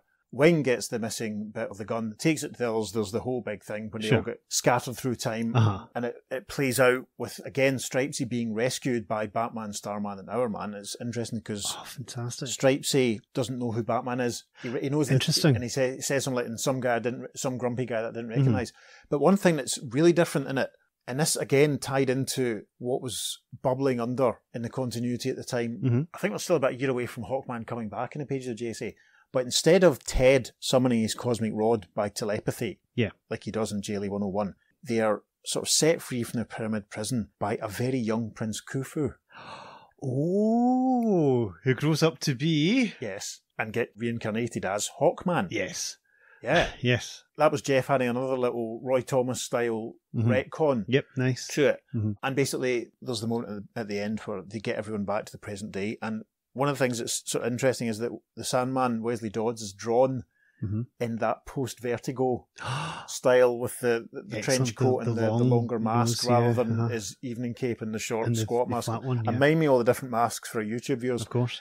And there's also a bit where they sort of say that because Johnny Thunder had, had mucked up, and there's a great, you see Green Arrow sort of slapping him in the back of the head. They were 20 years too late getting Greg Saunders. So Greg Saunders had been in the Old West for 20 years. Ah. Um, yeah. So he was an, he was older when by the time they rescued him. And that ties into James Robinson's miniseries. Yep. And all this organic, really, really Yeah. respectful JLA JSA stuff that, Mhm. that James and, and Geoff were doing at the time. So Mm. um, if you haven't read the Stars and Stripes series, and you really should have done by now, folks, if you listen to this podcast, go and find a copy of issue nine. I've got a spare if you're struggling. But it's joyous. I remember at the time just being so delighted by it, and it was fun to come back. You know, because there's little things they mentioned that um I think Stuff had spent time in ancient Greece, so Right, it's maybe the case that Stuff experienced exactly what happened to. The Speedy, The Speedy. yeah, makes sense. It's a fun story if you don't know it, Yeah. and it just adds on. Um, obviously, this week on the socials, I'll put up the cover and a few select panels from it, so Mm. you can have a look. The most interesting thing about it was the, the way they addressed the post-crisis lineup Yeah, of uh-huh. the team, and we'll come back to that definitely. later on. A couple of points about this chapter that I really enjoyed was the fact that Stripesy did recognise Batman, even though he's it's the Earth One Batman and he's got the yellow oval. As we've discussed in the podcast before, Earth Two Batman has at least once worn a yellow oval, Yes, even if it was just for like a, a lineup photograph or painting. Then yes, that is the case. And also, I'm amazed that Stripesy didn't try and build a time machine to try and get back home because he built a time machine in World's Finest Number Nine. Interesting. well, maybe I don't know, man. Maybe it was just what you had available at the time. Could be, could be. Mm. But there we go. I just thought I'd mention that. It's, because so I could mention the fact I've got World's Finest number nine again. Listeners, take a drink every time we mention the fact that Peter's got issue nine of World's Finest. Hey, hi, Ross Aiken from Stop Let's Team Up, home of Starman, uh, Opal City Confidential. In my memory, Justice League 100 is the first one I read. We were moving cross country. My dad was in the Marine Corps. He, uh, we'd spent a year at Camp Pendleton on, in California. Then we were driving to Pennsylvania so he could go to the Army War College. We did this real, like, National Lampoon's vacation kind of road trip. My older two brothers, my little sister, me, my mom, and dad. In 1972, we went across America. And we stopped at my grandfather's house to visit on our way, and it was really hot. I remember that. There was a waiting pool. I read this. I think it was Superboy 197 with the return of Timberwolf. But I remember this being the first one and, and, and my brother making sure I got them. Because I was like, who are all these other characters? It was like, you know, it's not probably the best comic to give your little brother without them having, you know, knowing who the characters were. But it was great because I like these, but maybe that's why I like Super Team books.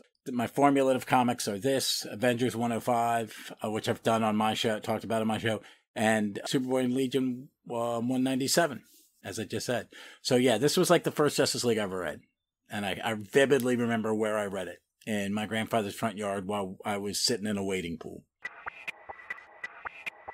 Chapter 2 winds up again back at headquarters with Diana Prince. Now, it's interesting, listeners, if you have a copy of issue 11 of DC Special Blue Ribbon Digest, you might want to take a look at that page because, and I'll put this up on the socials as well so you can see it. Did I tell you Mhm. about this, Beatsy? I think it is. I think I mentioned yeah. it to you Mhm. when I dug it out.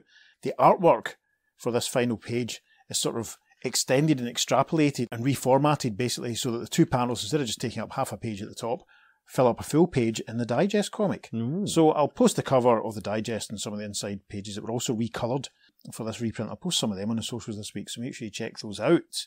So we now come to the letters for this chapter. Certainly do. Jumping ahead to the JLA mail room from issue 104. And the first letter says Dear editor, JLA 101 is here, and with it, the concluding instalment of the annual Justice League Justice Society team up. But no, this time you've thrown tradition to the winds and allowed it to run on for a third issue.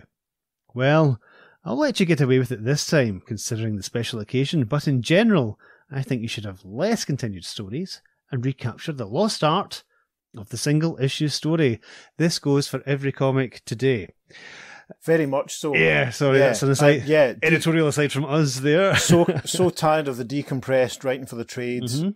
No, back to the letter. However, this anniversary story is a special occasion, and what a special occasion!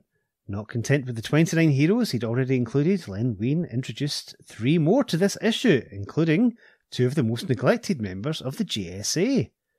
I hope he intends to give Diana Prince an active role in the story, instead of the passive one she seemed destined for last issue. Stay tuned. Mm. One suggestion though, you should go back to the old 1963 to 1967 practice of an all text splash page, summarising the previous instalments. It takes up less space and enables a person rereading the story all at once to skip the recap without breaking the continuity. But let me congratulate you again on what looks like, at least so far, the best JLA story yet. And when you consider it's only Len Wein's first shot at the strip, the mind boggles at the possibilities of what the man may produce in the future.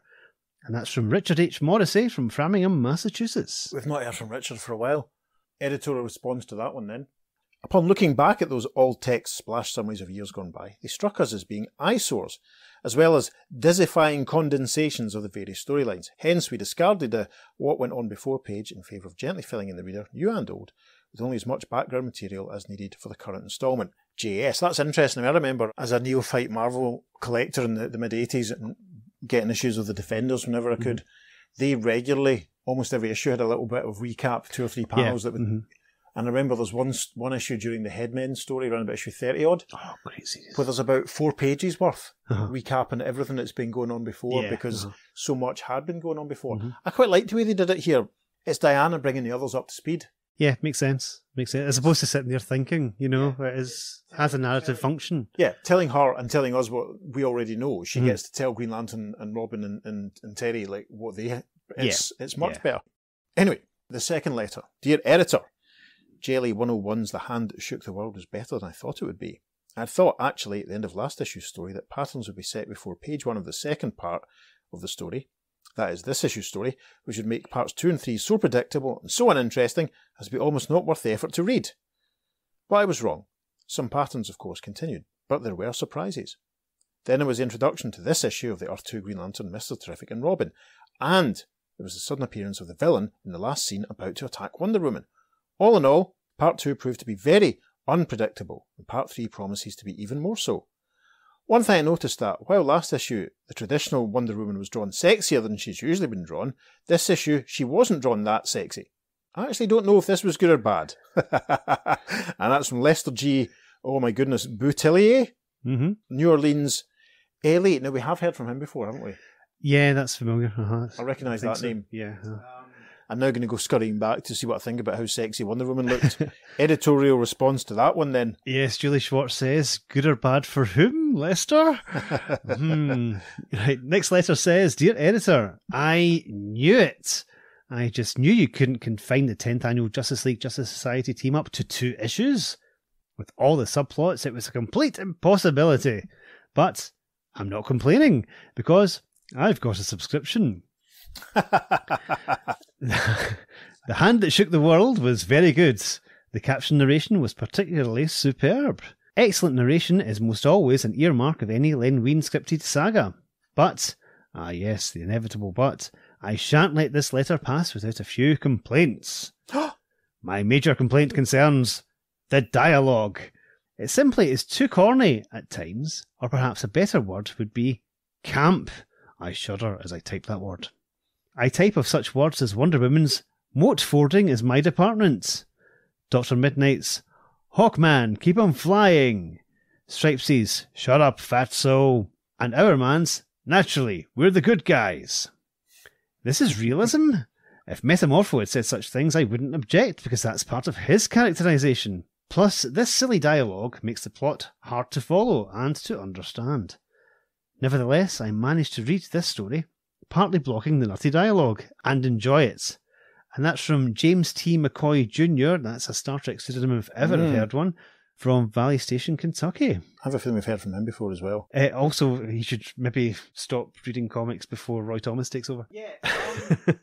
I could have dis- you know, I think he's missing the point of the fact that it's the big exciting summer crossover. Yeah. Some of the softening some of the character stuff like that might have Mhm. made it a bit Mm, bit grim. I Don't know. yeah.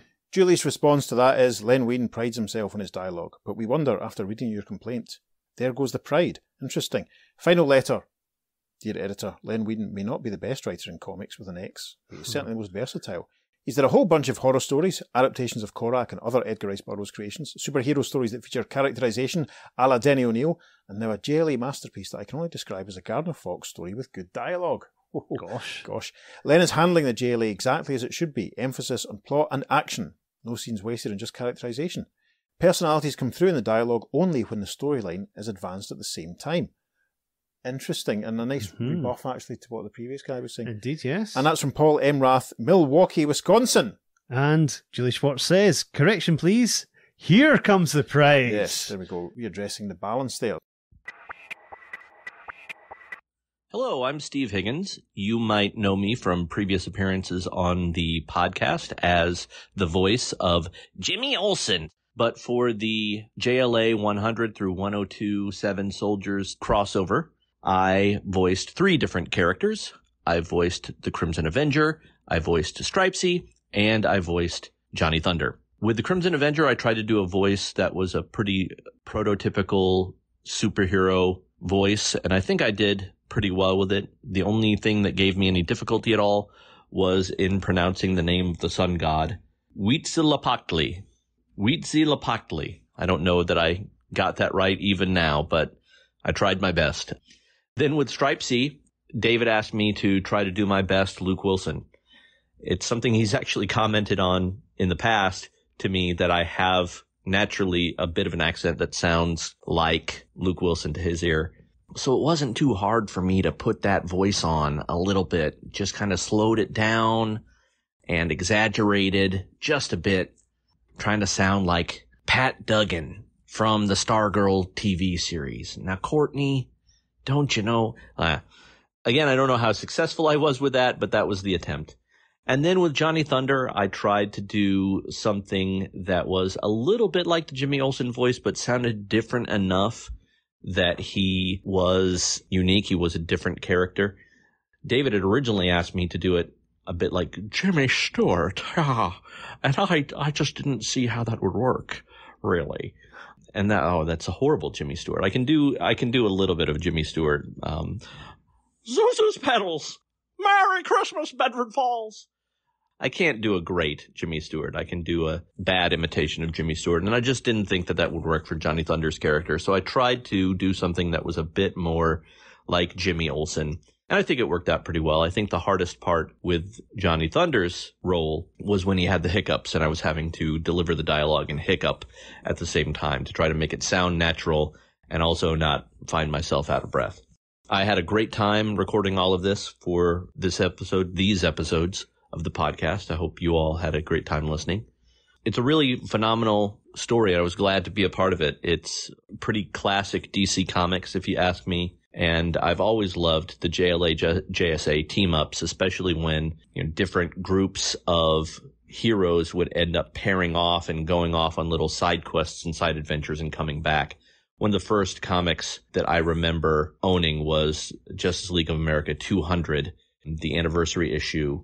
And, you know, that story featured the characters all kind of splitting off and going off and doing their own little side quests. And I've always, always, always enjoyed the big crossovers with, you know, a cast of literally dozens of superhero characters would all split off and go and do their own little thing and then come back together at the end for a big adventure and that was probably my favorite part of this story. And it, you know, it's became a trope somewhat of all the different JLA, JSA crossovers. And, uh, it's a trope that I just absolutely love. So loved this, loved each of the heroes in various time periods and various locations around the globe. It was a ton of fun. Uh, so glad that they asked me to be a part of it and, uh, hope you all enjoyed listening. That was fun. So we So come to issue 102, which, if it had Hourman and Metamorpho amongst the, the people standing up at looking up at Superman, maybe that would be my favourite cover out of the three of them. I don't know. Yeah, the concluding part of this three-parter. Yeah, I like it. I like the fact that Batman is deep in thought and Wonder Woman's looking up at him and Mm-hmm. questioning it, and Flash is looking up and Wesley's there. It's Yeah. yep. But it's the Earth 2 Wonder Woman looking at the Earth 1 Batman, so Yep, it's, like, it's it's fascinating. You know, it's quite cool. So this is the point when I was making my notes that I was just struck that Oracle looked like Alan Moore. the, the fascinating throne that he's sitting on, where it's sort of carved out of like human figures holding up the Mhm. the bits that the, the sort of the armrest thing. It's fascinating. I should like a chair like that. Yes. I tell you. I must say at this point that I've heard uh, said by Johnny Cannon, who does uh, his own comics, uh, The United, which is excellent. You should check it out. He once said that uh, Alan Moore is basically the love child of David Bellamy and Pam Ayres. and ever since he said that, I can't get that image out of my head. Guapo me white nuts. So Yes. Pam Ayres, listeners, if you don't know her, She, my mum used to be really quite irritated by her. Really? Because she, was a lady. I think she was on either New Faces or one of these TV talent shows in British Mm. TV in the seventies, and she won just by doing witty poems. Yeah. And the fact that she's, you know, you don't see so much of her or people like her is really just an indication of the decline of this country, quite frankly, if you ask me. Anyway, moving on. Chapter one of 102 was probably the one that Peter had to do the most work on in the editing, isn't that right? Yes, this was great because the only voice that actually is in it that is ours is me doing the, the medicine man. Mm. Everything else was a guest voice, and it was fantastic. Again, it was Chuck Lorrens. Hi, Chuck. He did an amazing Green Arrow. The wonderful Kelly Blair as Black Canary, and we had our friend Steve Higgins as Johnny Thunder. Yeah, Kel's unfortunately in, inheriting that sort of established Black Canary tradition that when Vince did Canary for us in Brave and the Bold years ago now, of making making a bit of a Southern Belle, Yeah, which we've kind of just gone with for continuity. So it kind of distinguishes her from her other female characters Yeah. anyway. So so, so Kel's had to do her best attempt at being a Southern Belle. I've not heard it yet, Kelly. I don't know how well you did. I'm sure you did fine. but yeah, Johnny, Steve doing Johnny was another last minute sort of Mhm. Thing, you know, because we we drew up a sort of potential cast list and asked people to do stuff, and people, but we kind of went on and we're like, right, we still don't know anyone to do this. Should we ask Steve to do? Jo- Steve might want to do Johnny Thunder, so Yep.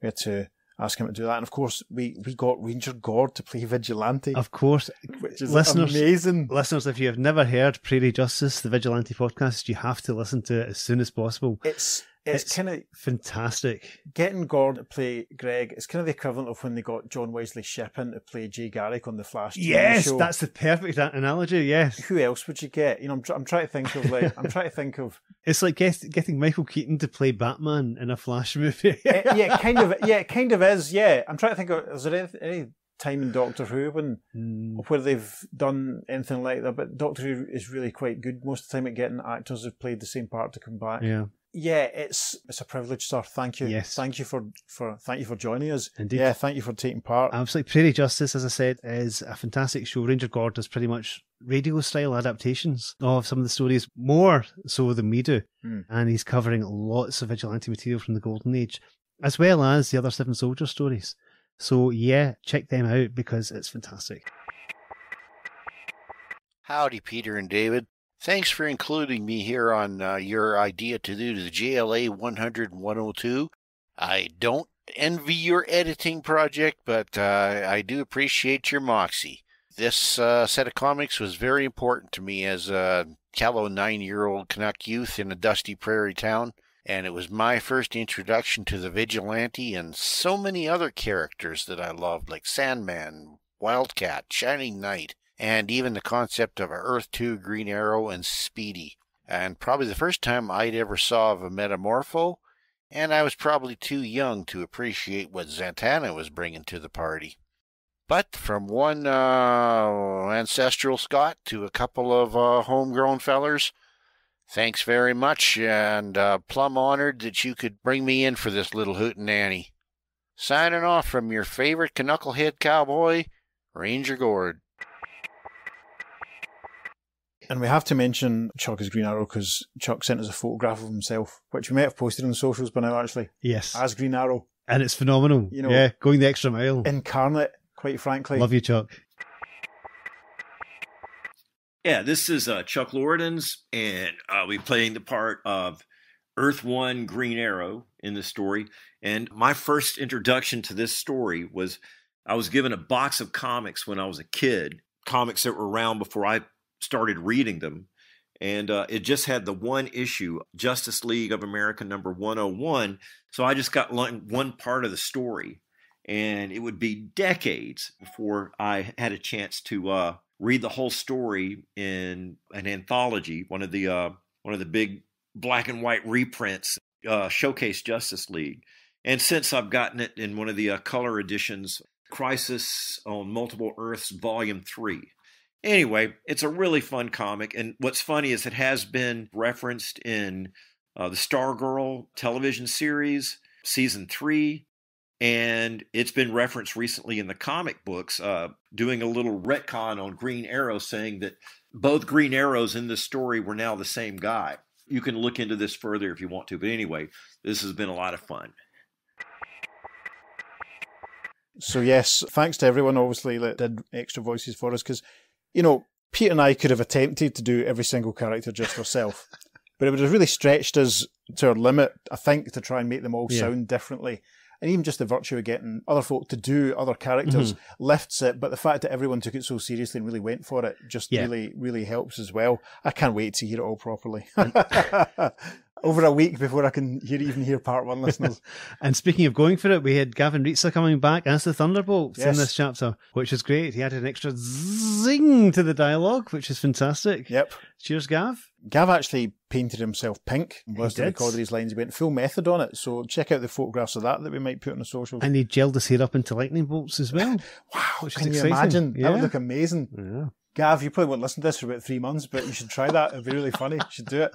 We'll take a picture and we'll Yes. put it on socials. Yes. Actually, it's worth pointing out that Canary doesn't really get much to do in this. No. She's not very well served, Mm-hmm. unfortunately. I mean, there should have been probably a point of her using her canary cry to blast back some of the Some martial arts some of the skills. natives. I mean, Yeah. she you, do see her flipping a couple of guys over, but yeah. it seems like she's only really just there to stand up for herself and to palm off these two guys that are kind of fighting her over at the start. Yeah. I would have liked it more if she'd had a bit more, you know, of a, a climatic canary scream to maybe free Ranger Gord from the Mhm. From the stake or something. I don't Mm-hmm. know. Instead of a, an arrow, I don't know. Because, of course, Black Canary did first debut in the Golden Age in a Johnny Thunder story. Yes. And basically took over Johnny Thunder's Yeah. strip in Yeah. Flash Comics. Yeah. He was phased out after a few because thought, oh, she's a much more popular character. Yeah. Let's get rid of Johnny. He's he's on the wane. So, yeah. And of course, at this point in the story, she's in a relationship with Oliver, so it's inter- it's it's a nice touch of Len's to actually address that. hmm It's probably the only characters he really could do that with, actually. Yeah, it's to true. be honest. So um, it's nice, but I would have liked a little Mhm. bit more superheroics from from Canary. We'll see what happens.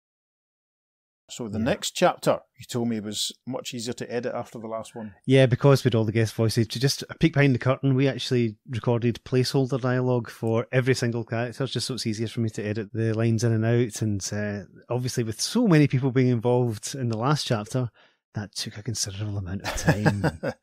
uh, but yeah, this one was a lot more straightforward. yes, because it was the only dialogue was really Wildcat, Aquaman, and, and Green Lantern, Mm, and Gav was doing Green Lantern, and Brandon gave us his under the weather, not very well Star Spangled Kid acting, Yes, which was a lot of fun. which is epic. Yes. Brandon gave us was it four or five takes of each each of his lines. Yeah, he, gave us plenty of material to work from. Plenty of options to choose So from. yes, So uh-huh. thanks for that, Brandon. It was great. We'll definitely get you back if if you're up for it. It's like how under the weather is Star Spangled Kid? Hmm, is he, or is he just being, you know, a bit of a brat, or is he, you know, just really, really struggling? Or, Yeah. it was great. It was a full on, the full on spectrum of acting there. When the Blu-ray special edition of this comes out in ten years' time, maybe all, all of Brandon's outtakes will be the will be a bonus feature. If we if we ever do a Patreon, we can always put up all the original dialogue for you to hear, and you, then Yes. you can edit your own episode That would be fun. You could hear the amount of swearing that Ross and I do whenever we make mistakes. That'd be fun. You keep keep that for Earth Two podcast nights. That would get us struck completely. our spin-off show. Again, another chapter where Green Arrow gets to do some fun power ring stuff. Wildcat gets to have a fight, and Aquaman gets to do some swimming. You found some interesting stuff online for this chapter, didn't you? Yes, was it? And indeed, I mentioned earlier on how I'd found um, the Spanish reprints of this story, and Wildcat's battle with the caveman was the focus for part three of the Spanish reprint. Part one was an adaptation of the the panel where all the heroes are flying through the void towards Oracle, and then for Mhm. part two they had a segment, an, an illustration, sorry, of of Sir Justin and Superman sort of fighting in midair. But yeah, Wildcat battling the caveman, but the caveman had been recoloured, so you'll have seen that in the socials by now. So the caveman had black hair in the original story, Mhm. but he's blonde on the cover of Ooh, the Spanish reprint. So make of that what you will. there we are. So yeah, check that out if you haven't done already. So that takes us to the, the final chapter, Mhm. starring Flash, Zatanna, and the Red Tornado. Indeed, and we had two people close to us joining us for this one. We had your sister, Yep. and we had my wife. Hey, Hey, yeah. So thank you to Ali and Christine. Yeah, thank you. thank you, thank you. Ali did her best Nicola Bryant off of Doctor Who voice for Zatanna. it wasn't deliberate initially, but that's who she found she was doing, so she just went with it. And Christine went for a majorly authoritative Cersei, which is fantastic. Which I've not heard yet at this You've point. not heard yet. You, you wouldn't mess. Oh, I wouldn't mess with Christine if I, anyway, man. Christine's cool. I know, you know, I'm glad she's on my side. I wouldn't want her not to be. But no, it was, this was a fun one because my voice is really going by this point. And I had to do Red Tornado. and I had to um Listen to me doing Red yes, Tornado. and I had to try and be the Flash and still have some energy in it, despite the fact that I was losing my voice completely. Because we recorded we recorded JLA's 100, 101, and 102. Recorded our bits on the same day. I know. We're insane. Great idea. Listeners, if you listen back to that particular chapter, listen to David's flash dialogue and just picture the actor Martin Landau. It's not what I was going for. If anything, I was trying to make him a little bit Ezra Miller without making him too Ezra Miller. and of course, by this point, the Flash movie has been released, and we both enjoyed it. Yes, I I loved it thoroughly. Yes. I, I liked it a lot up until that closing scene at the courthouse, which just left me frustrated and unsatisfied. But apart from that, I thought it was excellent. I thought Ezra was tremendous, both of them. loved it. Even the end. It was great seeing Michael Keaton being a proper superhero Batman and loved the new Supergirl. So yeah, what did Mm-hmm. you think of the Flash movie, listeners? If you didn't like it, we don't want to know. But if you did, please tell us what you liked about it. The final seven soldiers to be rescued, of course, was Speedy, hmm voiced by my friend and colleague Logan McFarlane. Now, good thing about that, Logan's 19 at this point when we recorded it, so instead of either Peter or I, or maybe even Steve, middle-aged man attempting to sound like a, a teenage superhero, we got a teenage superhero to do the voice, so that was good. Thank you, Logan. Much appreciated. Try and get you back at some point, I'm sure. Even though the dialogue was just, "What's happening? I don't understand any of this." Oh, I bet he owned it. it's the, Logan is now the definitive Speedy, as far as I'm concerned. I mean, like anytime I read a story, that's what I'm going to hear. Stay off the heroin, Logan. It's not going Yes. to be good. It's not going Oh, to for be good God's for you. sake. Yes. Anyway, Other drugs are available. Yes, the less said about that, the better. The final panel of page 18, then, the big panel, shows all the accumulated heroes, everyone recovered and restored and back in the present day. And it's fascinating to look at because, Mhm. honestly, the first time I read this story, I would have just gone, all right, cool, there's everyone. But looking at it now with a bit of 21st century perspective, Yeah. there's an awful lot of white faces, isn't there? Yes, I'm entirely with you. Uh-huh. You know, Pete and I talked about this vaguely. We're not going to make a Mm-hmm. big deal about it, but if this was happening nowadays, if, if they're retelling this story nowadays, Yeah. you know it would be the John Stewart Green Lantern Mm. mhm. It might be it might be the Val Zod Superman. Maybe Mikey Holt's Mister Terrific would be there somehow. I don't know. Yeah, he would definitely be in. Yeah. It's really just the way things were at the time. All the, all these characters, but it's just the sort of Mm-hmm. thing you notice now. It's when you read a sort of a '60s Legion of Superheroes story, and you notice that the Yeah. apart from the people who are blue and green, everyone else is white, and it's just it's not a criticism. It's just one of these social history Mm-hmm. It's observations. interesting from the you know from the historical point of view. And Yeah. it's good to see how things have changed as well. Absolutely. There are a number of characters there that would have legacy versions, you know, of Mhm. different races, obviously, like Beth Chapel or Connor Hawke. Mhm. The version of the Crimson Avenger that popped up in, first of all, in Stars and Stripes and appeared in JSA. You know, one, I hope I'm not overstating it, but it's interesting just to bear in mind as another cultural sort of Yes. point. Going back to the actual image here, we've got the Earth 2 Green Arrow standing directly behind the Earth 1 Green Arrow, and they don't interact at I all. know. Now, going up to present day, in current continuity, the Seven Soldier Green Arrow was the current Green Arrow, Yes. displaced in time, yeah. which means that he's rescued himself. We haven't touched on that before, Yeah. and this is fascinating. Yeah. We've talked before how the the recent Stargirl series, Mhm. Stargirl The Lost Children, which we loved. Yeah, And uh-huh. Ross also covered that on Stop Let's Team Up. So Yes. go and check out that if you feel like it. One of the, the tricks sort of in the, the holiday special that came out two years ago before, you know, a good long time before the series started was where it was sort of revealed that the Golden Age Green Arrow and Speedy were the modern age Green Arrow and Speedy just displaced in time, which was mind blowing, Yes. quite frankly. Many people were irate at it, but we both quite enjoyed it. Yeah.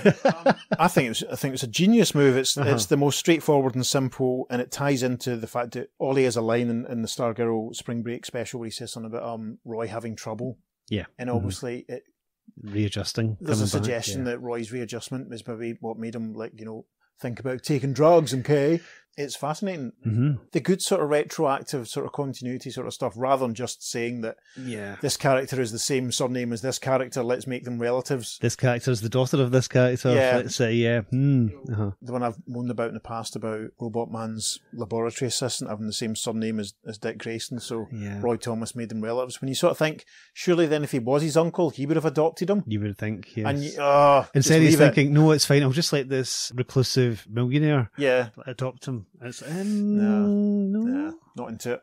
I'm too busy, you know, doing robotic experiments Yeah. with, uh, with my pal who is a brain Yeah, in a metal suit. yeah. Mm. The 40s kids don't, just don't do it. But the, inter- the other interesting thing, obviously, about the Stargirl miniseries was that Wing had such a big focal point on it. Yes. And really, Mhm. really poignant ending where he kind of went to meet his ultimate fate. He didn't sort of chicken Mm-hmm. out of it. He didn't because he knew that his destiny was to die. It was phenomenal. Yeah. Yep, uh-huh. fighting, destroying the Nebula Man, and we've preempted the last couple of pages of the story with Yeah. that. But you know, it's it finishes with an image of Wing, but we're you know, I'm quite happy to admit that I welled up at that. oh, I did too. Genuinely, it's like, wow, Yeah. I can't believe this is happening. It was, uh, yeah, very emotional and very well told. Great artwork as well as, Excellent, as, yeah. uh, as, as the script. Yeah. Unconditional recommend Mhm. on Stargirl the Lost Child. There must be a collected version of it due soon, I would think. Yeah, it will be out at some point. Huh? I would hope so. That'll probably be out before the next issue of JSA at this rate. Yeah, God, when was the last issue of the JSA? I can't even remember.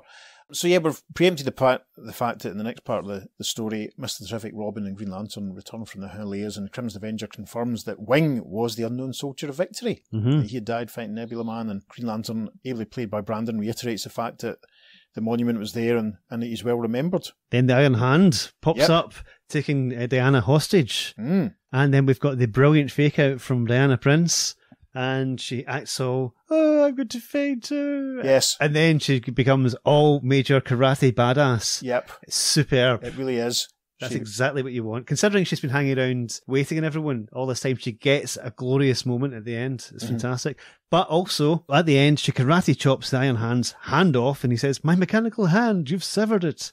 And she says, Consider yourself lucky I could have done that to your neck. Flash forward to Maxwell Lord much later on, and she does break his neck in an attempt to stop him mind controlling Superman. A couple of decades later, let's be honest. We don't talk about the 2000s much, really.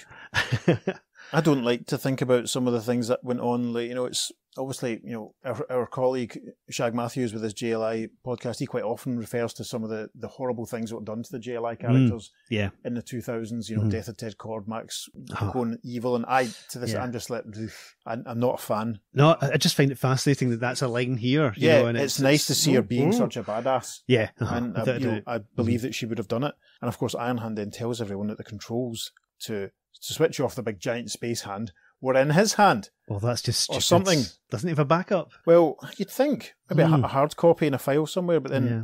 Doctor Fate suggests that the, the device that they used to destroy the Nebula Man could be reconstructed, which gave Brandon another chance to dazzle as Sylvester. Which is cool. And it's again, it's big sciencey exposition speech that he had, so it's quite good. I like the little montage shot of them all reassembling and Sylvester passing the weapon on to Superman. You've got to love a montage. yeah, and the GLs. That one probably made it onto the socials, I'm sure. Then we have the big plot twist at the end, Yes. where you know who is going to carry this thing up to destroy the hand, and Superman says he'll do it because he's invulnerable to everything, and then Doctor Fate zaps him, saying, "But not magic." Yes, Doctor Fate, still 10, 11 years after he came back here, still gesturing with lightning bolts. No sign of the Egyptology imagery.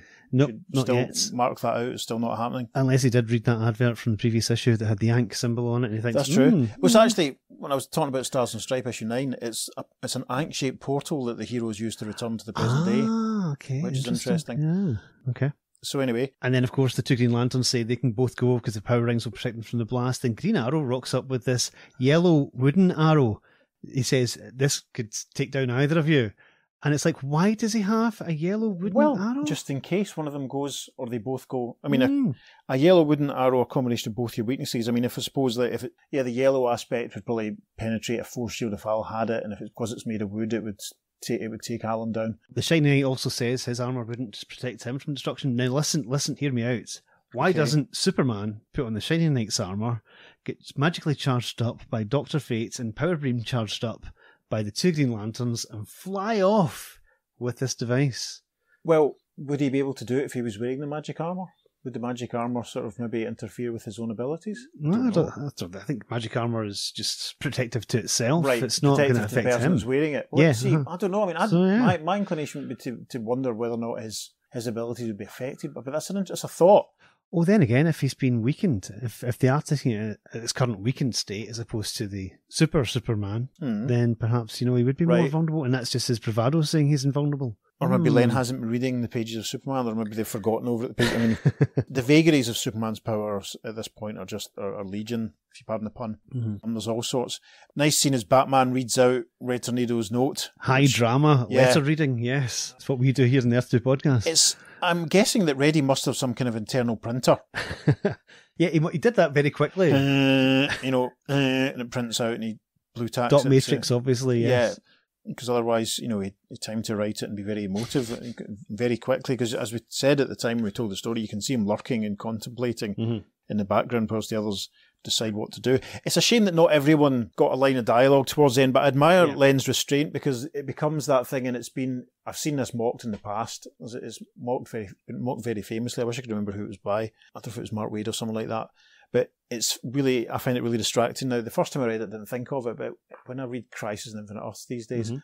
I'm really struck by every time a character appears, another character refers to them by their superhero name. Yeah, uh-huh. to introduce them to the. Yeah, just to the reader if they don't Yeah. know them. I mean, it's useful when you're a fan, you don't know who this guy is that, that Mhm. so and so's talking to. But it, it was mocked very mercilessly in the world's funnest comic, Mhm. which had, you know, Mr. Mxyzptlk and Batmite fighting each other as they all tried. Yeah. People ended up being killed because they were spending too much time saying the names of other heroes to try and warn them to get out of the way. um, you know, wildfire, firehawk, fire, ah! you know, that, that sort of thing. I'm, I'm glad that not every single person got a line, quite frankly. It's nice to have that moody shot Yeah. on page 23 when you see Aquaman in stripes, he's sort of standing listening. Yeah. I mean, they could have gone round the entire room and sort of said, well, I can't do it because of this, or I can't do it. I'm just a cowboy, or I could, I could, I could turn into neon gas, and I would be all right. No, shush, Metamorpho, actually, he probably would be Me- right, yeah. Doctor Fate probably could have done it. Yeah, you know, uh-huh. I mean, for all the fa- all the saying that Doctor Fate wouldn't, you know, can stop, could have stopped Superman. Like, Mhm. you know, Doctor Fate could have done it. But anyway, there is a massive explosion, and hopefully, hopefully Peter was able to put a massive explosion sound effect over it. I don't know. We'll Don't find out. fine. And Superman, Starman, and Doctor Fate all get one last line of dialogue as they go off and have a look. In fact, actually, the final page, page twenty-four, is another one that was reformatted for the reprint in the di- All right. the digest. Mhm. I will look at it now to remind myself. A bit more sky added above Hourman in the Crimson. Bit more added to the bodies of Hawkman, Aquaman, and three flying heroes respaced Okay. and stretched out a little bit more at the top and the bottom for the final panel. But again, I'll Mhm. put that on the socials, listeners, so you can have a look and do a comparison for your own self. The final panel that shows Very poignantly. Red Tornado and Wing waving down from the clouds. Yeah. Wing, Metaphorically. who doesn't get a single line of dialogue in the whole No. story. Do you not think it might have been more interesting if if it was the Crimson Avenger who sacrificed himself and Wing came back and became the new Crimson Avenger? Or if Wing was somehow magically restored at this point and Mm-hmm. then, whilst they were all squabbling, took it off and fulfilled his destiny. Like in Stargirl.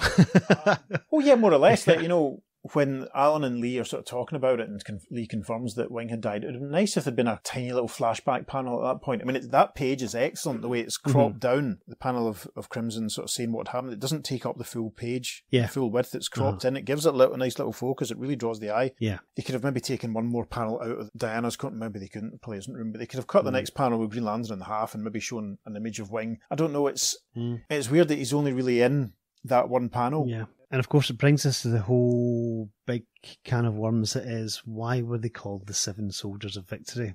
I mean, the Lost Legionnaires title is also what they were known as. That's Yeah. perfectly valid. It's, Yeah. it's really this story that cements that as their name because Sure. it did flip Sure. between the, both names in, in the Golden Age.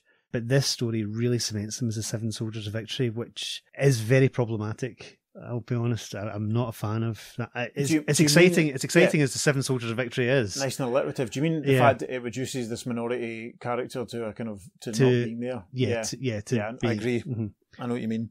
You know, I mentioned earlier on, like reading through the Seven Soldiers archives in Mm-hmm. preparation, and the way that Wing is portrayed in those stories compared to that detective comic story Mm-hmm. We did a few weeks ago, yeah. Jinx, Mhm. it's abhorrent. Uh-huh. He, he goes from being a capable adult Yeah. To this horribly caricatured pidgin English speaking joke character almost. Yeah. It's, it's you know it's it's one of these it's of its time and we can't excuse it even though it's of its time. But Mhm. you know, Pete and I in an idle conversation speculated that maybe that this was another member of the family. Yeah. Or a brother or Mhm. a son or a nephew or something because he's Yep. so much clearly so much younger than the guy that you see in the, the early detective comic stories. Yeah, I mean it, the whole seven it's become a bit of a running joke, isn't They it? have to make up the numbers every time it's retconned. Exactly. And it was retconned again. And we talked about the Stars and Stripe retcon, but um, issue two of the DC Universe Legacies series, which was published during 2010. Ollie and Roy are replaced by TNT and Dan the Dynamite. which I really don't like because I love the idea of this team basically being made up of non-powered people. Yeah. Uh, even, although Yeah. Sir Justin's got his magical armor enchantments, they're pretty Uh-huh. much all Just guys. yeah, Yeah. just ordinary people who are doing the good, fighting the good fight. Absolutely. And, you know, Danny and TNT, it's not like they're sort of Superman No. powered level or, No. you know, but it's still, uh, you're right. It's it still is a- powers. Yeah, I mean, the the story in, in the backup strip in DC Universe Legacies 2, the, the variant cover Mhm. features the this new Seven Soldiers, and again, there's eight of them on the cover. That's That has them coming against Black Star, who's who they, Mhm. the, the villain they fight in issue 2 of Leading Comics. The Mhm. dummy turns up as well. and you realise that the dummy's not actually a dummy; it's just a, a wee guy, which is fascinating. It's weird how they, as you say, the, the numbers have got to be made up, and at this point, TNT and, and Danny the Dynamite, they're not the most demonstratively sort of you know Superman level powers or Mhm. you know Flash level powers or anything. Yeah. but it does kind of take away from the. I mean, I've always liked the kind of more urban sort of non-powered characters. Yeah, definitely. But as you say, they were trying to make up the numbers, and it's quite a good pairing to use. yeah, the dynamic certainly is. Yeah, It's quite an interesting sort of way of replacing Green Arrow and Speedy is, you know, are, are tied heroes with similar powers and similar costumes. But of course, as we said already, like um, the latest retcon is that it was Green Arrow and Speedy all along. You know, that's post Zero Hour, post Crisis, post Zero, post Final Crisis, post New Fifty Two, post Convergence, Post-Metal. Dark Crisis, Yeah. post Metal, whatever. Mhm. The final issue of Lost Children finished with Courtney being mentioned as being in, I think, three separate super teams. So hopefully we'll see some more of that revived Seven Soldiers, and hopefully we'll see Yay. some more of all of the, the kid sidekicks that were restored at the end of that story. Mhm. So, shall we do the letters for issue 102 then? Let's do this. Let's jump ahead to the JLA mailroom from issue 105. And the first letter says Dear Editor, Justice League of America 102 was a pleasure to read. And this is high praise indeed coming from one who abhors continued stories and is bored by the exploits of the Justice Society. Get out. get, get out of our podcast. Yes. Don't let the door hit your backside as you leave. Yes. Len Wein constantly amazes me. Only a handful of writers could have taken what I view as a losing premise and moulded it into a really fine story. It was evident throughout this series that you were resurrecting some old and sadly outdated heroes. The Star Spangled Kid would be laughed off the street these days. Okay. If anyone else had handled the writing, I would have dismissed the series as a hack job and something of a cop out. Len Wein handled it beautifully. The little character sketches and snatches of conversation were great. The argument over Black Canary was well worth the price of admission. The same goes for Thunderbolt's timely, if delayed, appearance. These are the details that round out a mag, the ones that help establish a tone for it. Strange, isn't it, that each member of the Soldiers of Victory was involved in a potentially dangerous situation with, even more strangely, historically famous personalities at the exact moment that the combined forces of the JLA JSA went out to find them. But it wouldn't have been a three parter if our guys had just been able to swoop down the passages of time, pick up their respective heroes, and return instantaneously. It wouldn't have been much of a story either. Zatanna's amazing control of her wings struck this reader as a bit far fetched, but I won't quibble. A long time ago, in a junior high school English class, I was taught a handy little phrase suspension of disbelief. It applies especially well to the comics, with an X, magazine universe. After all, how believable is a girl who can make carpets fly simply by speaking to them backwards? And how does she manage to pronounce some of those words anyhow? Red Tornado's selfless sacrifice was presented with an unnecessary dose of misty eyed sentimentality. What? He died! Of course, Hmm. people are going to go say, oh. It, it does get a mite tiring watching all these superheroes vying for a chance to sacrifice themselves to save humanity and or their colleagues every other month. A final word about the cover.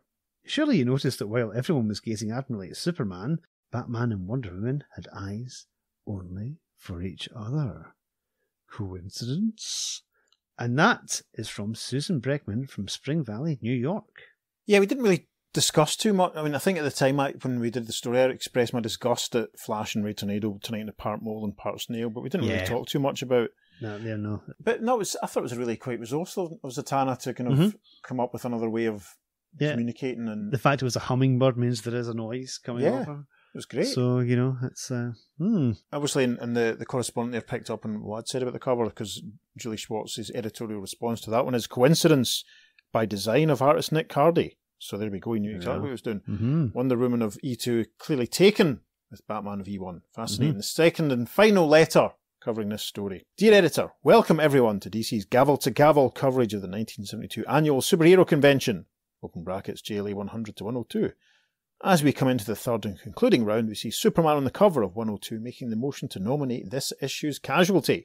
After the delegates from both Earths meet on page 18 to begin a caucus, those of the League and Society proclaim the result. It's Wing in the first ballot. A running mate? Sure! It's the Red Tornado. The convention all but over, the collection of capes, cowls, masks, and the like pause for the famous somewhere, somehow fade out, and the marathon is over. Well, that's a bit cynical, isn't it?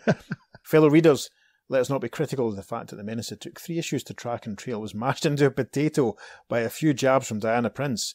Let us forgive Nick Cardy for his portrayal of Black Canary in the cover, when she looks like something out of H.P. Lovecraft's Shadow over Innsmouth. Oh, sh- dear. oh my goodness. We must ask ourselves, what was Len Wein's intention, his purposeful goal?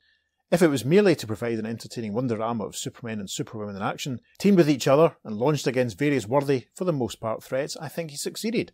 I was entertained by Mr. Wein's selection of fighting teams, especially Black Canary, Green Arrow, and Johnny Thunder. His humorous interjections, his way of creating problems that were not too obviously tailored to his character's powers. An exception, open brackets, was that flood that burst in Aquaman. Yes, we thought so Handy. and his way of avoiding crowding while including so many heroes. Let me make one thing perfectly clear.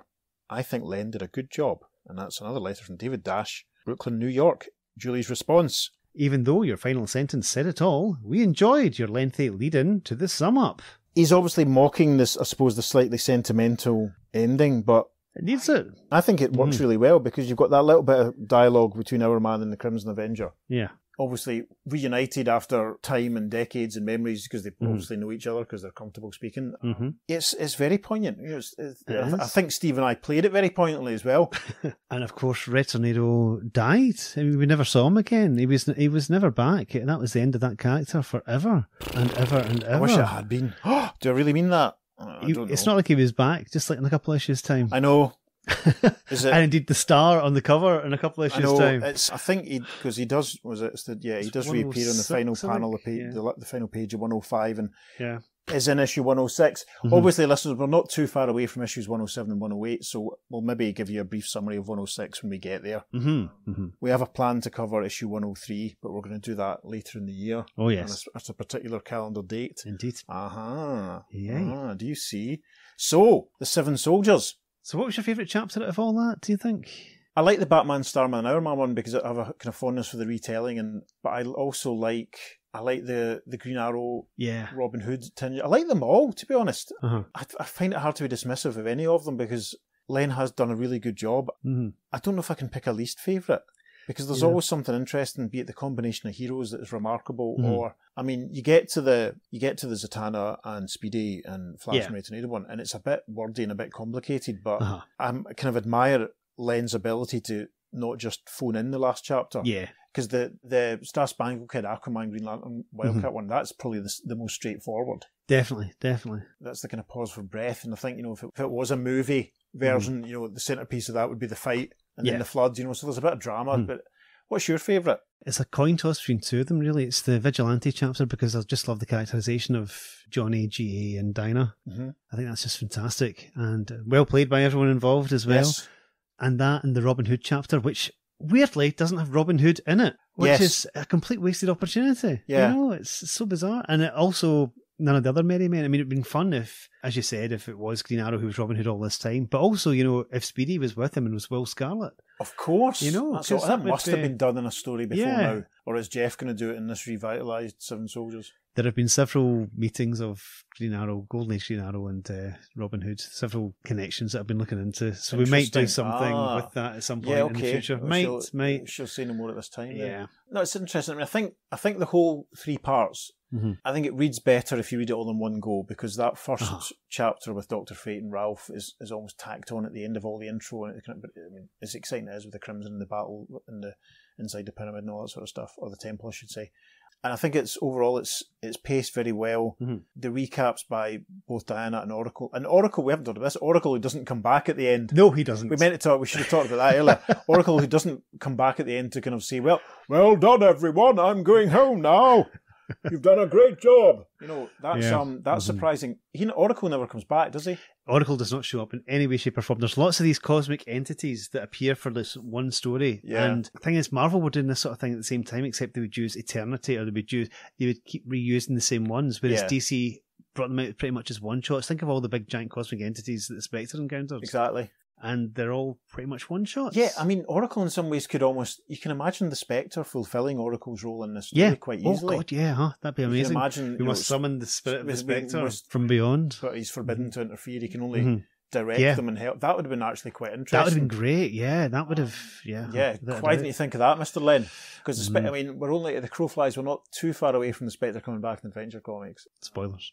so yeah, we'll see. We think of that when we get there. But yeah, the Seven Soldiers will also return Mm-hmm. in the pages of Adventure Comics because there's a previously unpublished Golden Age story which was serialized over a few issues of Adventure. So we're going to do that when it comes to it. And of Yeah. course, Vigilante is going to pop up a couple more times very yes, soon. The, Yeah, well, the Earth One what we've vigilante. established is the Earth One Mhm. Vigilante. But, you know, the Seven Soldiers, they, we don't really see much more of them until All Star Squadron.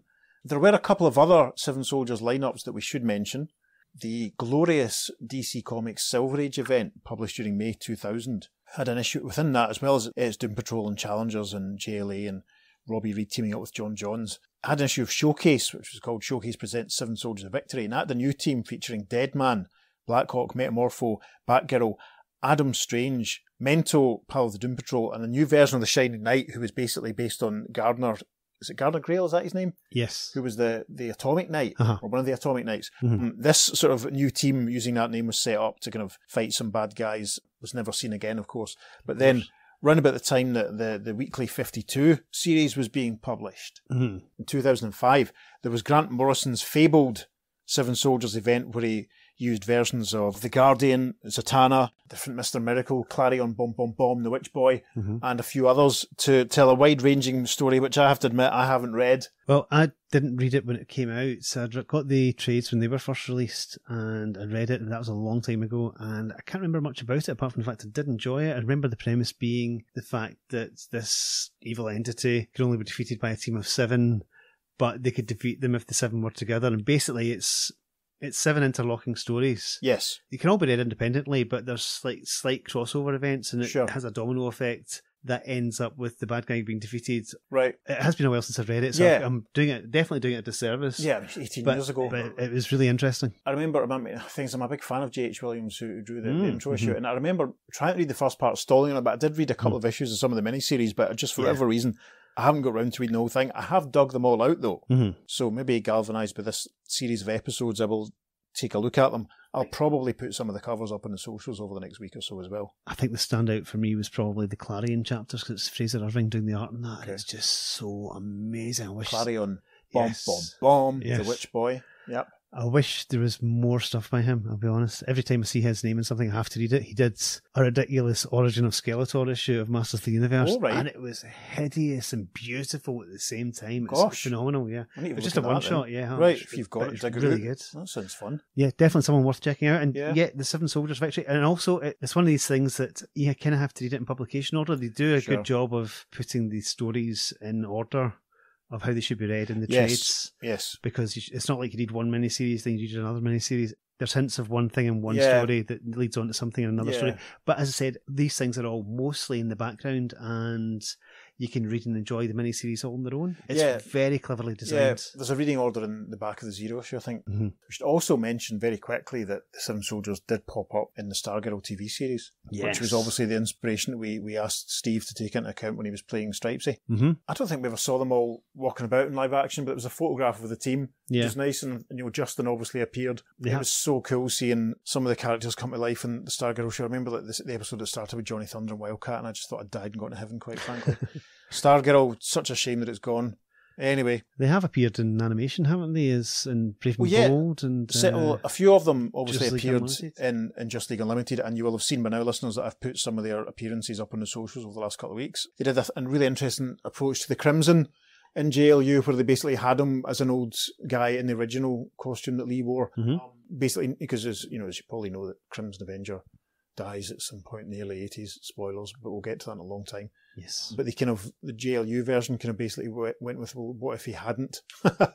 and there's an excellent issue of Justice League Unlimited, the the tie in DC comic to the, to the Cartoon Network series, where Uh-huh. you see a bit of his adult life in an old folks home and stuff, and he's teamed up with Stargirl, and it's and it's brilliant. And he pops up in a couple, and Vigilantes in at least one, and the No Mhm. Shining Knights in at least one as well. Posted a Vigilante cover a while ago when Vig, I think, first came back in the pages of Justice League 78, 79. So I won't be posting them again, but you will have seen by now the Crimson and the Shining Knights cover appearances on the socials by now. And if I can find anything else, I might stick that up. But yes, the socials. The socials. Speaking of them, if you want to find out where any of this stuff is, then you should check out the Earth 2 podcast at Facebook and Instagram and on Twitter. We're at podcast underscore Earth 2. You can also send us a voice message on SpeakPipe, which our good friend Caitlin Higgins has done, based off the back of our first Road to the Seven Soldiers episode. Let's hear from Caitlin now. Hello, I am Caitlin Higgins, the daughter of Steve Higgins slash Jimmy Olsen, and I have several comments slash questions about the Seven Soldiers of Victory Part 1 episode. Number one, there was a lot of randomness, a lot of menswear references that were very funny. Number two, there were a lot of white hats in the both the Crimson story and into the Vigilante story. Probably was confusing to read, but was also very funny. Number three, also in the Vig story, the character of George Smythe. I liked how Peter changed Joe Smythe's voice like as soon as he switched identities. And my very last question, also in the Vid story, where did Stuff get a crossbow from? He was just like swinging on a flagpole, went in through the window, went into the other room, and suddenly he has a crossbow. Where did he get it from? So, those are all of my comments slash questions about the episode. Have a good day. Caitlin, I think that basically the easiest option here was that there was a crossbone display in his room that also had the, the armour that George Smythe leapt into. That makes sense. That makes sense. Yeah. And thank you for your compliments on my voice change. Yes. the face I did when he just, I wasn't expecting Pete to do that voice when he did George Smythe. Anyway, Caitlin, thank you. Anyone else wants to send us a, a, a voicemail message, please do so. That would be tremendous. Yep. The link for that's on the show notes for this very episode and indeed all our episodes. It's speakpipe.com forward slash the Earth 2 podcast. So we'll wind up again by thanking everyone who joined in and helped us out by providing extra voices for us to tell this epic story. Indeed, yes, you've all been amazing, and yeah, we might call on your talents at some point in future. We're so so grateful. Genuinely, like going out your way to do it in some cases, and just sort of some cases being harangued into do it. but I'm so gra- I'm so glad and grateful that everyone did. And obviously, we've heard from a few people during the course of this episode their thoughts and stories. Be assured, listeners, when we get to Crisis on Infinite Earths, we are not going to be doing every single line of dialogue with everyone being voiced by a different character because that would kill us. Don't you? Don't just get that out, get that idea out of your head right now. We we we will see how we get on. But you know, going forward, depending on, on the practicalities of it, we may get we may do some more episodes where we, we have some guest voices. Obviously, there are other JLA JSA crossovers with Cast of Thousands, so we'll see how we get on with those. Maybe we will, maybe we won't. Time will tell. It always does. On that bombshell, I've been Peter. And I've been David. We'll see you again next week for the seventh episode of the Seven Soldiers of Victory Summer, a special bonus as we cover World's Finest 214. Until that time, you've been listening to The Earth 2 Podcast. Transmatter cube activated. Return coordinates set for Earth Prime.